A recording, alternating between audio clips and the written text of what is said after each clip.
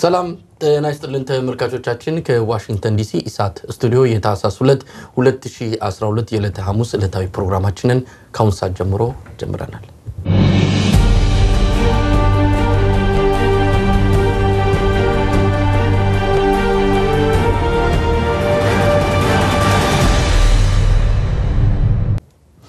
በዛሬው ዝግጅታችን የተለያዩ በኢትዮጵያ ጉዳዮች ላይ ያተኮሩ ርዕሰ ጉዳዮችን መርጠን እንወያያለን። ለዚህ ውይይት ወንድማገኝ ጋሹ ከለንደን፣ ሲሳይ አጌና፣ ጴጥሮስ መስፍንና መሳይ መኮንን ከዚህ ከዋሽንግተን ዲሲ አብረናቸው እንቆያለን። አብራችሁን እንድትቆዩ በድጋሚ በአክብሮት እንጋብዛለን። በዜና ስርጭታችንን እንጀምራለን። ጠቅላይ ሚኒስትር አብይ አህመድ ከኖቤል የሰላም ሽልማት መልስ አዲስ አበባ ሲደርሱ ደማቅ አቀባበል ተደረገላቸው። ምክትል ጠቅላይ ሚኒስትር ደመቀ መኮንንና የመንግስት ከፍተኛ ኃላፊዎች ቦሌ አውሮፕላን ማረፊያ ተገኝተው አቀባበል ማድረጋቸው ነው የደረሰን መረጃ የሚያመለክተው። ጠቅላይ ሚኒስትር አብይ በቦሌ በሰጡት መግለጫ ሽልማቱ ለኢትዮጵያና ለኤርትራ ሕዝቦች የተበረከተ ነው ብለዋል። በጅማ አጋሮ፣ ወላይታ ሶዶና በአንዳንድ ከተሞችም በጠቅላይ ሚኒስትሩ መሸለም የደስታ ሰላማዊ ሰልፎች የተደረጉ ሲሆን የአማራ ክልል ምክር ቤትም ሽልማቱን ምክንያት በማድረግ ተሰብስቦ ደስታውን መግለጹን ለማወቅ ተችሏል። ማምሻውን በቤተ መንግስት በተደረገ የሽልማት የእራት ስነስርዓት ፕሬዚዳንት ሳህለወርቅ ተባብረን እንነሳ ጊዜውም ዛሬ ነው ሲሉ ንግግር አድርገዋል። የጥምቀት በዓል በተባበሩት መንግስታት የትምህርት የሳይንስና የባህል ድርጅት ዩኔስኮ በማይዳሰስ ቅርስነት መመዝገቡ ተገለጸ። ዩኔስኮ እንዳስታወቀው የጥምቀት በዓል በዓለም ቅርስነት ተመዝግበዋል። ኢትዮጵያ በዓለም ቅርስነት በማስመዝገብ ጥምቀት አስረኛ ቅርስ መሆኑ ተመልክቷል። በዓለ ጥምቀተ ክርስቶስ የዓለም ቅርስ ሆኖ መመዝገቡ የቤተ ክርስቲያናችን የሀገራችንና የሕዝባችን ስም በዓለም ላይ እንዲታወቅ ያደርጋል ሲሉ ብፁዕ ቅዱስ አቡነ ማትያስ መልእክት አስተላልፈዋል። የዓለም የገንዘብ ድርጅት IMF ለኢትዮጵያ 3 ቢሊዮን ዶላር እንደሚሰጥ ተገለጸ። Financial Times ባወጣው ዘገባ እንዳመለከተው በኢትዮጵያ የተከሰተውን የኢኮኖሚ መዛባትን ለመታደግና ኢኮኖሚዋን ነፃ ለማድረግ ለምትወስደው እርምጃ ማበረታቻ የሚሆን ይህ ገንዘብ በቦርዱ ሲጸድቅ ለኢትዮጵያ ይሰጣል ተብሎ ይጠበቃል። ተመልካቾቻችን ሌሎች ዜናዎችን ማክለን በዕለቱ ውይይታችን እናነሳለን። ሁላችሁንም አመሰግናለሁ። ወንድማገኝ ከአንተ ልጀምር እንግዲህ የተለያዩ ዜናዎች ነው ያሉን። በጠቅላይ ሚኒስትር አብይ ከኖቤል መልስ የተደረገላቸውን አቀባበል በተመለከተ እስቲ ያለውን ሁኔታ ስሜታችን እንግለጽና እንዴት አየው አቀባበሉን? በጣም አመሰግናለሁ መሳይ። አቀባበሉ ግሩም ነበረ። እንግዲህ ጀግንነት በሁለት አይነት መንገድ ይገለጻል። በጦር ሜዳ ከጠላት ወረራ ጋር ተከላክሎ አሸንፎ መመለስን ያካትታል በአሸናፊነት። ሁለተኛው ደግሞ በመልካም ስራ በተለያየ መንገድ በሰላምም በምንም የሚገለጽ ነው። የሁለተኛውን ጀግንነት እንግዲህ ዶክተር አብይ ለኢትዮጵያኖች ይዘው መጥተዋል። ኢትዮጵያኖች ክብር በመላው ዓለም ጨምረዋል። አገር ውስጥ ያሉትም እንደዚሁ ደስታቸውን እየገለጹ ነው እና ስከታተለው በተለይ ቀልቤን የሳበው የአንድ እናት ንግግር በኢትዮጵያ ቴሌቪዥን እና አዲስ ቲቪ ለማየት ሞክሬ ነበረ። ይሄ እንዲህ አይነት ድሎች ያሳለፍናቸውን መከራዎች ሸፍነው በቀጣዩ በመተሳሰብ አንድ ብንሆን ደግሞ የበለጠ ለራሳችንም ለዓለም እንደምንተርፍ ገልጸዋል እና ኢትዮጵያኖች መደሰትን ያለብን ማዘን የለብንም ብለው ለወጣቶችን መልዕክት ያስተላልፉ ነበረ። እንዲህ አይነት ከውጤቱ ጋር ተያይዘው የሚመጡ በህዝብ መካከል የሚታየው ቁርኝት እየጠነከረ መሄዱን ያሳያል እና ከተለያየ ቦታ የመጡ ናቸው። ከኦሮሞም ከአማራም እንግዲህ እንደሰማናቸው እና ይሄ አብሮነት ይሄ ቁርኝት እንዲህ አይነት ድሎች ደግሞ ለኢትዮጵያኖች ቀጣይ ዕጣ ፈንታ መልካም እድሎችን ይዘው እንደሚመጡ የሚያሳዩ ናቸው እና በዚህ ሳምንት መሳይ ተደራረበብን። የኢትዮጵያ ሰብአዊ መብቶች ጉባኤ ተሸልመዋል፣ ኢውና ተሸልመዋል። አቶ አመሃ መኮንን ከእንግሊዞች ከፈረንሳዮች እና ከጀርመኖች ተሸልመዋል። ወይዘሮ ሌኒ በአሜሪካ ዛሬ ደግሞ እንደሰማነው የኢትዮጵያ በኢትዮጵያ ቤተክርስቲያን የጥምቀት በዓል በዩኔስኮ የማይዳሰስ ቅርስ ውስጥ ገብቷል። እንግዲህ ለዓለም የምናበረክታቸው ነገሮች እየበዙ ነው። ስለዚህ ውስጣችን ያለውን በተለይ ዛሬ በኢትዮጵያ ቴሌቪዥን አቶ አብዱራዚቅ ሲናገሩ የሀገር ውስጥ እውቀት አጥኚ ናቸው እና በኢትዮጵያ ቴሌቪዥን ብዙ ጊዜ ይሄ ትውልድ የተሸወድ ነው ነው የሚሉት እንዳንግባባ የተደረግነው የውጭውን ብቻ እውቀት በመያዛችን ነው። የውስጡን እውቀት ብንይዝ በዓለም ደረጃ ስለ ሉሲ ወይም ኢትዮጵያ የሰው ዘር መገኛ ስትባል በስርዓትም በህግም ባኗኗርም የሰው ልጅ እድገት የሚያሳየው የመጀመሪያው የሚሆነው ደረጃ አፋር ውስጥ ነው። ባጠናነው ጥናትም ይፋ ባደረግነውም ይሄ ነው። ስለዚህ ድሮ ጀምሮ የነበረንን ከአስተዳደር ጀምሮ ራስን በራስ ከማስተዳደር ጀምሮ ለዓለም ያበረከትናቸው ስልጣኔዎች ቁንጮ ነገሮች ናቸው እያሉ በሚዲያ ዛሬ ይናገሩ ነበርና እንዲህ አይነት ድሎች የሚያመጡት ውጤቶች ቀላል አይደሉም። በትውልዱ መካከል መነሳሳት ፈጥሯል። ከተማ ውስጥ ወሬ ሁሉ ይሄ ነው። እንግዲህ ከአዲስ አበባም ከአዲስ አበባ ውጭ በተለይ አዲስ አበባ ዙሪያዋን ያሉ የኦሮሞ ተወላጆች በፈረስ ሆነው አጅበው ሲሄዱ ለመመልከት ችለናል። የሚፈጥረው ስሜት መሳይ ቀላል አይደለም እና በጣም ደስ ብዙ ሰዎች ይሄን ደስታ እየተጋሩ ነው ያሉት። እንዳልከው ነው። ኢትዮጵያ በዚህ ሳምንትም ሰሞኑን በብዙ ኢትዮጵያውያን ታላላቅ ኢትዮጵያውያን የተለያዩ ሽልማቶችን እያገኙ ነው ያሉት። ዛሬም እንደሰማነው ዶክተር መሐመድ አቦ አሊ የተባሉ ኢትዮጵያዊ በተፈጥሮ ሳይንስ በተፈጥሮ ሳይንስ biomass density ነው world champion በመሆን በትልቅ ስነስርዓት ሽልማት ማግኘታቸውን ነው የተገለጸው። እኚህ ወጣት ኢትዮጵያዊ ናቸው። ዶክተር መሐመድ አቡ አሊ ይባላሉ። ይህም ትልቅ ነገር ነው። በኬሚስትሪውም ዘርፍ እንደዚሁ ሽልማት አንዲት ኢትዮጵያዊት አግኝተዋል። እንዳልከው ለኢትዮጵያ ይሄ ሰሞን ቀኑ በፊት መጥቷል መሰለኝ። ሁሉ ነገር ለኢትዮጵያ ቀና ነገር እያየን ነው። ይሄ ቀና ነገር አገር ቤት ካለው ሁኔታ አንጻር እንግዲህ ወደፊት ተስፋ የሚሰጥ ነገር ይከሰታል ብለን እንጠብቃለን። ሲሳይ እንዴት አየው? ዛሬ ጠቅላይ ሚኒስትር አብይ አህመድን አቀባበል በተመለከተ እሳቸውም ያደረጉት ንግግር አለ፣ መግለጫ ሰጥተዋል። በዛው በቦሌ አቀባበሉ ላይ በርካታ ባለስልጣናት ተገኝተዋል። እንደዚሁም በመስቀል አደባባይ ቁጥራቸው በርከት ያሉ ኢትዮጵያውያንም እንደዚሁ መታደማቸውን ያወቅ ነው። ከተለያዩ አካባቢዎችም በፈረሰኛ ጭምር መጥተው ጠቅላይ ሚኒስትሩን መቀበላቸውን በተለያዩ የቴሌቪዥን ስርጭቶች በቀጥታ ተከታትለናል። እንዴት አገኘው? አመሰግናለሁ መሳይ። እንዳልከው ጠቅላይ ሚኒስትር አብይ አዲስ አበባ በገቡበት ወቅት ከቦሌ ዓለም አቀፍ አውሮፕላን ማረፊያ ጀምሮ የመንግስት ባለስልጣናት እንዲሁም የሃይማኖት አባቶችና ታዋቂ ሰዎች እንዲሁም አባገዳዎች የተገኙበት የአቀባበል ስነስርዓት ነበር። ያው በአዲስ አበባ በቦሌ ጎዳና ላይ መኪናው ዝግ እያለ በከፍተኛ አጀብ እስከ ቤተ መንግስት ያደረጉትን ጉዞ ተከታትለናል። ያው በውጭም ያለው በአገር ቤትም ያለው በቴሌቪዥን እንደተከታተለው ይታመናል። በዚህ በስርጭቱ ወቅት አንዳንድ ክፍተቶች ነበሩ። በተለይ የኢትዮጵያ ቴሌቪዥን በወጉ ማስተላለፍ ያልቻለበት ሁኔታ ሲታይ እንዲህ አይነት ትልልቅ ፕሮግራምና ስነስርዓቶችን ማስተላለፍ የማይቻልበት መንገድ በጣም አሳዛኝ ነው። ከኦቤን መሰለኝ እየወሰደ ያስተላለፍ ነበር።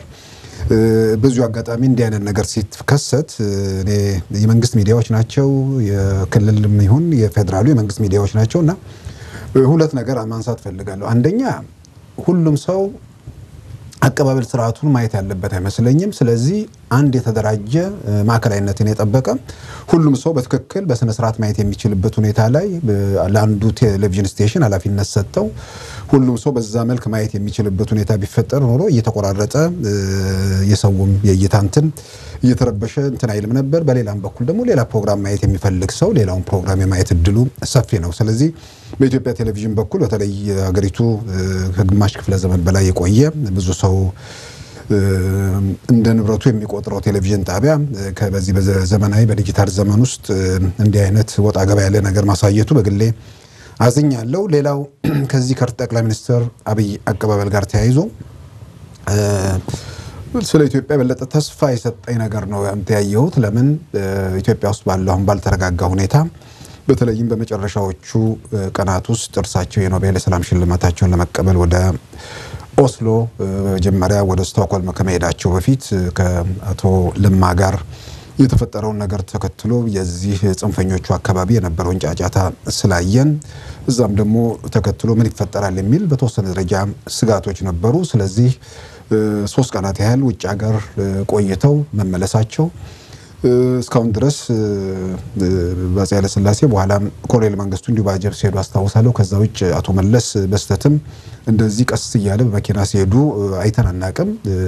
ከፍተኛ አጀብ ነበር፣ ከፍተኛ ወታደር ጥበቃ ነበር። በእርግጥ በዛም ውስጥ ሆነው በእርግጥም ጥይት የማይበሳው መስታወት እንደሆነ ይታመናል መኪናቸው።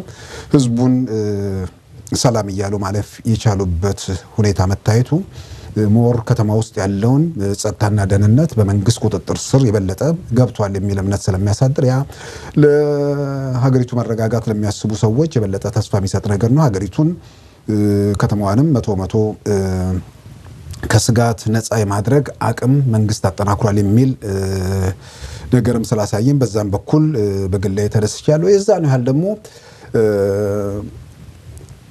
ባይሆን ብዬ ደግሞ በግል ያመንኩት ነገር ነው። ለምን ኢትዮጵያ አሁን ባለችበት ሁኔታ ውስጥ አንድ ነገር ቢፈጠር ኢትዮጵያ ውስጥ የሚፈጠረው ቀውስ ከቁጥጥር ውጭ እንደሚወጣ በኢትዮጵያ ሕልውና ላይ ሁሉ ትልቅ አደጋ የሚጋርጥ ነገር ስለሆነ በተወሰነ ደረጃ በእርግጥም አስተማማኝ ሰላም እንዳረጋገጡ ሙሉ በሙሉ መቆጣጠራቸውን ግልጽ ቢሆኑም የተወሰነች ቦታ ላይ የምትፈጠር ክፍተት ኢትዮጵያ ላይ እሳት የሚያነድ እንደ ሀገር ልንጠፋ የምንችልበትን ነገር ሁሉ የሚያስከትል በተለያየ መንገድ ደግሞ እንደምናየው ይሄ ነገር ቢፈጠር እጅግ በጣም ደስ የሚላቸው የኢትዮጵያ ውስጥ የሚፈጠረው ቀውስና እልቂት ሳይሆን በግርግሩ መሀል የሽግግር መንግስት ይመሰረታል ብለው ያችን የሚቋምጡ ሰዎች ያሉበት አስፈሪ ሁኔታም በተወሰነ ደረጃ አይቻለው እና እና ባይሆን ብዬ ስጋት ነበረኝ። በእርግጥም ከቦሌ ዓለም አቀፍ አውሮፕላን ማረፊያ ድረስ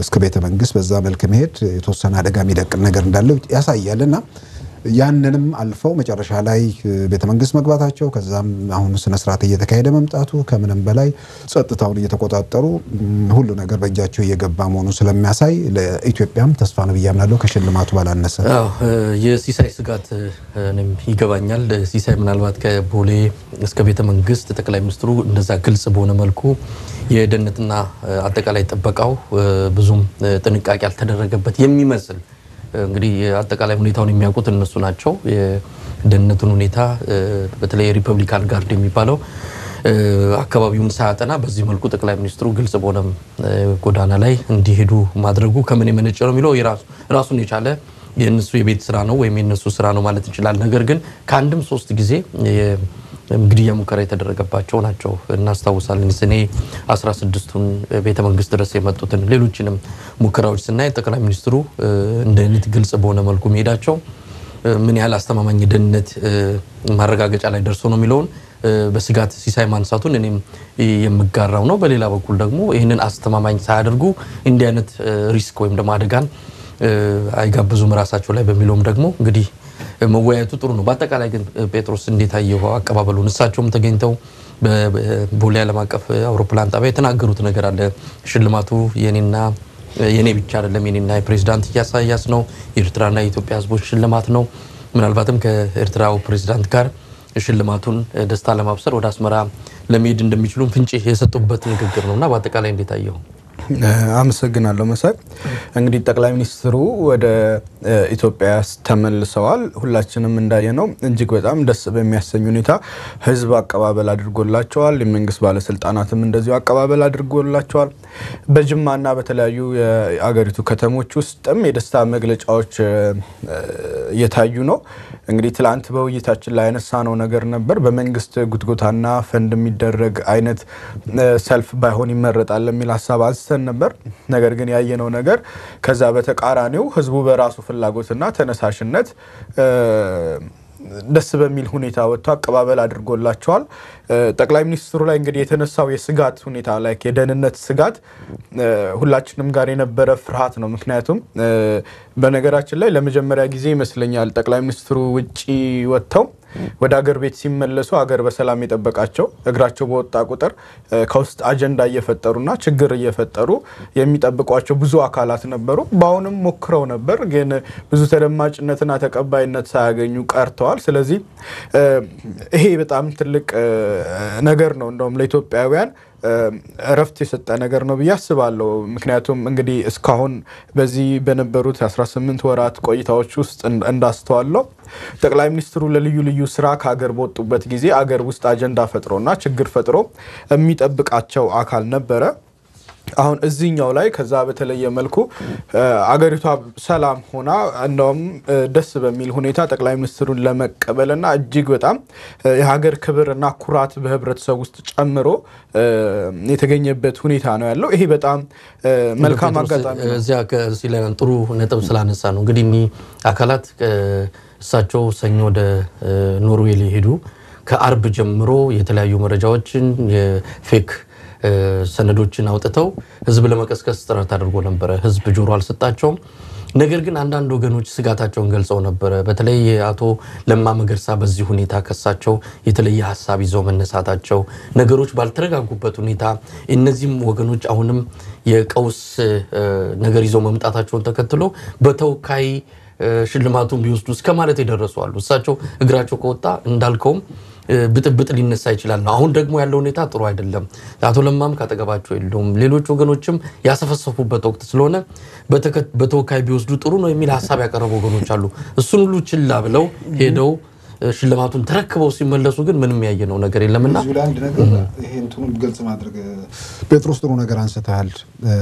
ልክ ጠቅላይ ሚኒስትር አብይ ወደ ኦስሎ መጀመሪያ ወደ ስዊድን ስቶክሆልም ከመሄዳቸው በፊት እኮ የ master plan ጉዳይ ተነስቶ እኮ live ወደ 7.5 ሺህ ሰው እየታየ ከፍተኛ እንትን ለመፍጠር ተሞክሮ ነበር። ግን እንደተባለው አገር ቤት እንደ ድሮ መሰማት የማይችሉበት ሁኔታ ወይ ደግሞ መዋቅራቸው ስለፈራረሰ ይሁን ወይ ደግሞ ወጣቶቹ ስለገባቸው ይሁን ሌላ ነገር አልተፈጠረም እንጂ ያ ቀውስ ቀውስ ለመፍጠር ግን እቅድ እንደነበር ራሱ የሚያሳይ ነገር ነው። እሱን ለማስታወስ ነው። እውነት ነው። እንግዲህ ለአንዳንዶቹ ተራ ለሆኑ ወይ መንደር አሉባልታዎች እውቅና ላለመስጠት እዚህ ላይ አናነሳቸውም እንጂ ከዛም ያለፈ ንግግሮች ተደርገዋል። አሁን ሲሳይ ያነሳዋለ። ከዛ በተጨማሪ አሁን ላይ መከላከያ ሚኒስትሩ ቢጨክኑና ቢቆርጡ በአንድ ጀንበር አዲስ መሪ ይኖረናል እስከ ማለት ድረስ በድፍረት በሚዲያ ሲያሰራጩ የነበሩ አካላት ነበሩ። መፈንቅለ መንግስት እንዲካሄድ ራሱ insist ያደርጉ የነበሩ አካላትና ቡድኖች ነበሩ። በጣም አስገራሚ ነገር ነው። ይሄ ሁሉ ነገር ግን ሳይሳካ ቀርቶ ጠቅላይ ሚኒስትሩ ወደ አገር ቤት ሲመለሱ ሁሉም ነገር ሰላም ሆኖ አገሪቷ ላይ ላይ ከዚህ በፊት እንደለመድ ነው እና እንዳየነው አይነት ክስተት አለመከሰቱ አንድ አንድ መልካም አጋጣሚ ነው። ህብረተሰቡ እየነቃ እንደመጣና እንዲሁም ደግሞ የቁጥጥር ስርዓቱ እየተሻሻለ እንደመጣ አንድ የሚያሳይ ኢንዲኬተር ነው ብዬ አስባለሁ። ቅድም ስለ ግድያ ሙከራዎች ምናምን ተነስቷል። ጠቅላይ ሚኒስትር አብይ እኔ ለየት የሚያደርጋቸው ብዬ የማስበው እንዲህ አይነት ነገር የሚያስበረግጋቸው አይነት መሪ አይደሉም። እንግዲህ በጦርነት ውስጥም አልፈዋል። በ military ውስጥ የነበራቸው experience አለ። ከዛ ውጭ ለብዙ ነገር ራሳቸውን ዝግጁ አድርገው የሚጠብቁ ይመስለኛል። እንግዲህ እንደኔ ምልከታ ከዚህ በፊት የተደረገባቸው የተቃጣባቸው ነገር አለ። ሁለት ሶስት ጊዜ እንዲህ አይነት ነገሮች ተሞክረዋል። ሌሎች መሪዎች የሚያደርጉት ወይም ደግሞ ሌሎች መሪዎች በዚህ ቦታ ላይ ሲሆኑ የሚሰጡት ምላሽን ስንመለከት አንዳንዴ አግረሲቭ ያደርጋቸዋል። አንዳንዴ በድንጋጤ ወይም በቁጡነት ውስጥ ይከታቸውና ያልተገባ ምላሽ በመስጠት ነገሮች ይካረሩና መስመራቸውን ይስታሉ። ጠቅላይ ሚኒስትሩ ግን እንደዚህ አይነት ነገሮችን ሀንድል የሚያደርጉበት ቁጥጥር የሚያደርጉበት መንገድ እጅግ በጣም መልካም ነው። ስለዚህ ይሄ ሁኔታቸው ትላንት የተፈጠረው ነገር ነገ ማድረግ ከሚገባቸው መልካም ነገር ወደኋላ እየያዛቸው አይደለም። ትላንት በሰው ፊት በግልጽ ይመላለሱ የነበሩት ጠቅላይ ሚኒስትር እንዲህ ተሞክሯል በማለት አሁን በስውር እንዲንቀሳቀሱ እያደረጋቸው አይደለም። የሚገባቸውን ቁጥጥርና ጥንቃቄ እያደረጉ አሁንም የሕዝብ መሆናቸውን ለማረጋገጥና ለማሳየት ሙከራ እያደረጉ እንደሆነ አስባለሁ። ከመጨረሻ ላይ ማለት እንፈልገው በዚህ ርዕስ ላይ እንግዲህ የጠቅላይ ሚኒስትሩ ሽልማት እንደ እርሾ ነው ብዬ ነው የማስበው። በሀገሪቱ ውስጥ ያለ በርካታ ዓለም አቀፍ መድረክ ላይ ወጥቶ የሚያሸልም ስራን የመስራት ጅማሬዎችን በደንብ እንዲቦካና እንዲወጣ ያደርጋል ብዬ አስባለሁ።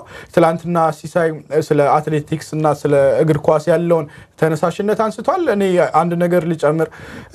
ኢንጂነር ቅጣው እጅጉ በዓለም አቀፍ ትልቅ ምርምር ኢንስቲትዩት ውስጥ መኖራቸው የእኔ ዘመን ትውልዶች ሁልጊዜም እሳቸውን ሲያስብ ሊሚታችን ኢትዮጵያ ብቻ እንዳልሆነ ዓለም አቀፍ የሳይንስና ምርምር ተቋማት ላይ መግባት እንደሚቻል እያሳዩን ነበረ። አሁን ደግሞ ኢትዮጵያኖች የሽልማትና የእውቅና recognized የሚደረጉበት መድረክ ኢትዮጵያ ብቻ እንዳልሆነ ዓለም አቀፍ ትልቅ መድረክ ላይ መውጣት እንደሚቻል ማንነት፣ ድህነት፣ ጥቁር መሆን፣ አፍሪካዊ መሆን፣ ኢትዮጵያዊ መሆንና እያለንበት ሁኔታ ሊገድበን እንደማይችል መልካም ከሰራን ጥሩ ከሰራን ከተጋንና ከለፋን እዚህ ቦታ ላይ ሊደረስ እንደሚቻል አሳይተውናል። limit ኡን ከፍ አድርገውልናል። ይሄ እጅግ በጣም አስደሳች ነገር ነው። ወንድማገኝ ቀደም ሲልም አንተም ነካክተኸዋል። ኢትዮጵያውያን በተለያዩ መስኮች ድል እየቀናቸው ነው። በሳይንሱ ዘርፍም እያየን ነው። ትልልቅ ኢትዮጵያውያን እየወጡ ነው። ትልልቅ ሽልማቶችን እያገኙ እንዳለ እየገለጽን ነው። በስፖርቱም ጠቅሰናል። አትሌት ደራርቱ ቱሉ በዓለም አቀፍ ደረጃ ትልቅ ሽልማት ነው ያገኘችው። ብዙ ነገሮች መልካም ነገሮች እየመጡ ናቸው። ይሄ positive energy ወይም ደግሞ መልካም ስሜትን ብርታትን የሚሰጠውን ነገር አጠንክሮ መግፋት እንዳለብን ደግሞ የኢፌዴሪ ፕሬዚዳንት ሳህለወርቅ ማምሻውን ይሄን ፕሮግራም በምንቀርጽበትም ጊዜ ይሄ ስነስርዓት እየተከናወነ ነው። የሽልማቱ የኖቤል ሽልማትን በተመለከተ በቤተ መንግስት የራት ግብዣ እየተደረገ ነው። እዛ ላይ ያነሱት ነገር አለ። ተባብረን እንነሳ፣ ጊዜው ዛሬ ነው ብለው የጠቀሱትም ነገር አለ። እንግዲህ ጠቅላይ ሚኒስትሩ በዓለም አቀፍ ደረጃ ተሸልመዋል። ብዙ ነገር በትላንትናውም ከትላንት በስቲያም አንስተናል እና ሀገር ቤት ደግሞ ያለ ነገር አለ፣ ችግር አለ፣ የኑሮ ውድነት አለ፣ ሰላም ማጣት አለ፣ ብዙ መጥፎ ነገሮች እንዳሉ እንረዳለን። እነዚህ ሁለት ነገሮች አንድ ላይ የሄዱባት ያለ ሀገር ነች ኢትዮጵያ እና ምን ማለት ይቻላል? ኢትዮጵያውያን ይህንን አይተው ነገን እንዴት ነው መጓዝ ያለባቸው? በጣም አመሰግናለሁ መሳይ። እኔም ዛሬ የእሳቸውን የአቀባበል ስነ ስርዓት ስከታተል የፈጠረብኝ ስሜት ነበረ። በተለይ አዲስ ቲቪ አዲስ አበባ ቴሌቪዥን ያስተላልፍ ቃለ ምልልሶችን ሲያደርግ ሀገራዊ ሙዚቃዎችን የነ ፀሐዬን የነ ገሰሰ ጥላሁን ጥላሁን ገሰሰ ጥላሁንን ማን እንደ እናት ማን እንደ ሀገር እናትን ከሀገር ጋር እያነጻጸረ ኢትዮጵያን መልክዓ ምድር ታሪኮች እየተዘከሩ ወጣቶቹ ሚዲያ ላይ እየቀረቡ ለሀገራቸው ያላቸውን ፍቅር ሲገልጹ ልክ ሌኒ መብራቱ የ2019 የሴኒን ጀግና ብላ ስትሸለም ያለችው ነገር አለ። የሀገሬን ስም በመድረኩ ማስጠራቴ ወደር የሌለው ደስታ ነው። የመምጣት ምንጩ እንግዲህ ኢትዮጵያ የሆነ ኢትዮጵያን ችግር ሰምተህ በችግር ውስጥ ታመ በዛው መሞት ሳይሆን ኢትዮጵያ ለዓለም ያበረከተችው ነገር አለ። ከ Pan Africanism ጀምሮ ከክዋሚ ንክሩማ ጀምሮ ቀዳማዊ ኃይለ ስላሴ የአፍሪካ ንቅናቄ እንቅስቃሴ ውስጥ Pan Africanism ውስጥ ትልቅ አሻራ ነበራቸው። ዶክተር አብይ ይህንን ሽልማት ወደ ሀገር ቤት ይዘው ሲገቡ መሬት ላይ ያለው ነገር ምናልባት የራሳችንን የውስጥ ሰላም በማምጣት በኩል ብዙ ያልሰራናቸው ስራዎች አሉ። ይሄ ለውጥ ከመጣ በኋላ የጠቅላይ ሚኒስትር አብይን ቅቡልነት ለማሳጣት ሚዲያዎችም ግለሰቦችም ድርጅቶችም የሄዱበትን ርቀት እናስታውሳለን።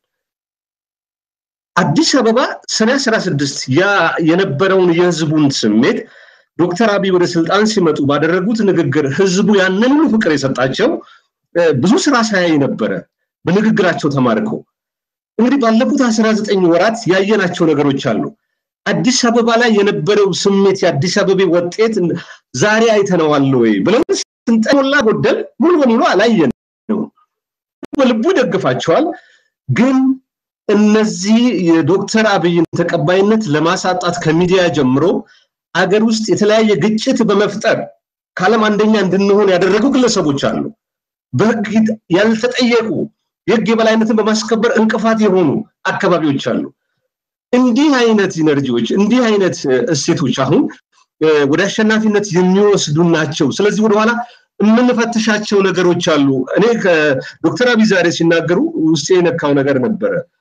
ትውልዱን የበላው ሾተል ላይ አለ። ላለፉት ሀምሳ ዓመታት እርስ በርስ በመባላት ያታረፍነው ነገር ምንድን ነው? ይሄን ሾተል ላይ ነቅለን ማውጣት አለብን። እጅ ለእጅ ስንያያዝ የት እንደምንደርስ ማሳየት ይቻላል።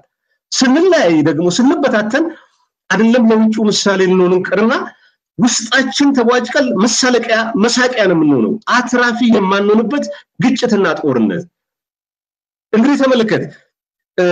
በኤርትራ ጦርነት መቶ ሺህ አጣን እንበል። በደርግ ጊዜ በነበረው ጦርነት ውስጥ ከ1966 ከህዋት ጋር በነበረው የ17 ዓመት ትግል የቀድሞ ምክትል ፕሬዚዳንት ፍስሐ ደስታ እንደገለጹት ከመቶ ሀምሳ ሺህ በላይ ከሁለቱም ወገን አልቋል። ይሄ በመከላከያ ሚኒስቴር ውስጥ የተመዘገበ ነው። እንግዲህ ባለፉት 27 ዓመታት ደግሞ በህዋት ኢህአዴግ የተገደለው ሰው ቁጥር እየለሌል ነው። ዛሬ ቆም ብለን ስንተባበር ከዚህ ችግር ለመውጣት በምናደርገው ትንቅንቅ ውስጥ እንቅፋት ወይም ተግዳሮት በመሆን የሚያስቸግሩ ሰዎች አሉ። እነዚህ ሰዎች ናቸው እኛ ለዓለምም ያበረከትነው ነገር አለ። ስንነጋገር፣ ስንተቃቀብ፣ ስንረዳዳ የት እንደምንደርስ ማሳየት ችለናል። ዛሬ በተለይ የሀገር ውስጥ እውቀት ጥናት ላይ ዶክተር ቃሲም እንዳቀረቡት ወደ ውጭ ከመመለከት ይልቅ ውስጥ ያለውን እኛነታችንን ምንገባበት ምንገነባበት እውቀትም ባህልም ስላለ እነዛ ነገሮች ይፈተሹ። እነዚህ እንቅፋት የሆኑ ሰላም ያሳጡን፣ ህግ እንዳይከበር ያደረጉ ንቅናቄዎችን የምንበላቸው ወጣቱን ወደ አላስፈላጊ ነገር የሚወስዱ ቅስቀሳዎች መቆም እንዳለባቸው ኢትዮጵያኖች የሚያስቡበት ነው። ይህንን ደስታ ይዘን ለመቆየት ሰላም ያስፈልገናል፣ ነፃነት ያስፈልገናል። ነፃነት በነፃ አይገኝም፣ ዋጋ ሊያስከፍል ይችላል። ይህ ግን ዋጋ የሚከፈለው ለሰላም ባለን ፍቅር፣ የህግ የበላይነትን በማስከበር ያለን ቁርጠኝነት ነው። እንደ ዜጋም ህግ አስፈጻሚውም፣ መከላከያውም፣ ፌዴራሉም እንደገና ከፍተኛ መንግስት የስራ ኃላፊዎች በክልልም በፌዴራልም ያሉ የኢትዮጵያን ብልጽግና ለማምጣት እንዲህ አይነት መልካም አጋጣሚዎች ወደፊት ለመሄድ ሊረዱን ይችላሉ። ስለዚህ ቆም ብለን እናስብ። ሽማግሌዎችም አዋችም ወጣም ወደ ራሳችን እንምጣ። ታሪካችን ብዙ ነገር ያስረዳል። ለዓለም ያተረፍነው ነገር እንዳለ የውስጥ ችግራችንን በመፍታትም ደግሞ ለመጠቀም እንዘጋጅ። የውስጥ ጥንካሬ ከሌለ የውጭ መልካም ስም ከውጭም በኩል እናገኝ አንችልም። ይህንን ነው ማለት የምችለው መሳይ። ሲሳይ እንግዲህ በአቀባበል ስነስርዓቱ ላይ የተገኙ ባለስልጣናትም ሌሎች ደስታቸውን ገልጸዋል። ቀደም ሲል በእናንተም እንደተገለጸው በተለያዩ የኢትዮጵያ አካባቢዎችም ደስታቸውን የገለጹ ኢትዮጵያውያን አሉ። በጅማ፣ በአጋሮ፣ በወላይታ ሶዶ፣ ሌሎች አካባቢዎች ደግሞ በስብሰባና በተለያየ መልኩ የኖቤል ሽልማት ለኢትዮጵያ የሚገባ ትልቅ ሽልማት ነው ሲሉ ደስታቸውን የገለጹት እና ጠቅላይ ሚኒስትሩ በቦሌ አውሮፕላን ማረፊያ ከተናገሩት ውስጥ አንዱ ጠቅላይ የኤርትራውን ፕሬዚዳንት ኢሳያስ አፈወርቂን የተመለከተ ነው። ከተገናኙ ሐምሌ ወር ላይ ነው የተገናኙት ለመጨረሻ ጊዜ። አሁን ላገኛቸው ፈልጋለሁ የሚለው እንግዲህ ሁለቱ ሀገራት አንዱም ሽልማቱም ያው ኢትዮጵያና ኤርትራ መሀል ሰላም እንዲወርድ በማድረጋቸው ነው በዋናነት ይህንን የኖቤል የሰላም ሽልማት ያገኙትና ያ ሰላም ከወረደ በኋላ ሁኔታዎች እንዴት ናቸው? እንዳሉትም የአውሮፕላን የተለያዩ አገልግሎቶች መከፈታቸው ትልቅ ነገር ነው። ነገር ግን እንደታሰበው እንዳመጣጡ እንዳጀማመሩ ነገሮች እየሄዱ አይደሉም። እንግዲህ በየጊዜው ይገናኙ ነበረ ፕሬዚዳንት ኢሳያስ አፈወርቂና ጠቅላይ ሚኒስትር አብይ አህመድ አስመራም ኤርትራም አዲስ አበባም እየተመላለሱ ይገናኙ ነበር። አሁን ግን ሐምሌ ወር ነው ምናልባት ከአራት ወር በላይ ሆናቸው ሳይገናኙ ማለት ነው። የሰላም ስምምነቱ ባለበት መቆሙ ነገሮች እንደ ፍጥነታቸው አለመቀጠላቸውን በመጥቀስ አንዳንድ የሚዲያ ተቋማትም በመሀላቸው መሻከር ተፈጥሯል። አንዳንድ ነገሮች አሁንም ወደኋላ እየተቀለበሱ ነው። ዛሬ ዶቼ ቬለ ዛላንበሳ ከተማ ነዋሪዎችን አነጋግሯል። ሰላም ስምምነቱ ስር የያዘ ወይም ደግሞ ተቃዋማዊ ቅርጽ ያልያዘ በመሆኑ አስተማማኝ አይደለም የሚል ሀሳብ ሲያንጸባርቁ ነበርና ከዚህ አንጻር እንዴት ትላለህ? የኢትዮጵያና የኤርትራ ጉዳይ ሁለቱ ሀገራት ወይም ሁለቱ ሕዝቦች አብረው ተደጋግፈው ተጋግዘው ከመኖር ውጭ አማራጭ የላቸውም። ላለፉት ሀያ ዓመታት በምን አይነት ሁኔታ ውስጥ እንደቆዩ ይታወቃል። ለዛ ወደ ሰላም ሂደቱ እንዳይመጣ ደግሞ እንቅፋት እነማን እንደነበሩ ግልጽ ነው። ስለዚህ ያንን ነገር በመስበር ጠቅላይ ሚኒስትር አብይ ለዘረጉት እጅ ፕሬዝዳንት ኢሳያስ በሰጡት ምላሽ በአጭር ጊዜ ውስጥ ተአምር በሚባል ደረጃ በሁለቱ ሀገራት መካከል የተገኘውን ነገር አይተናል።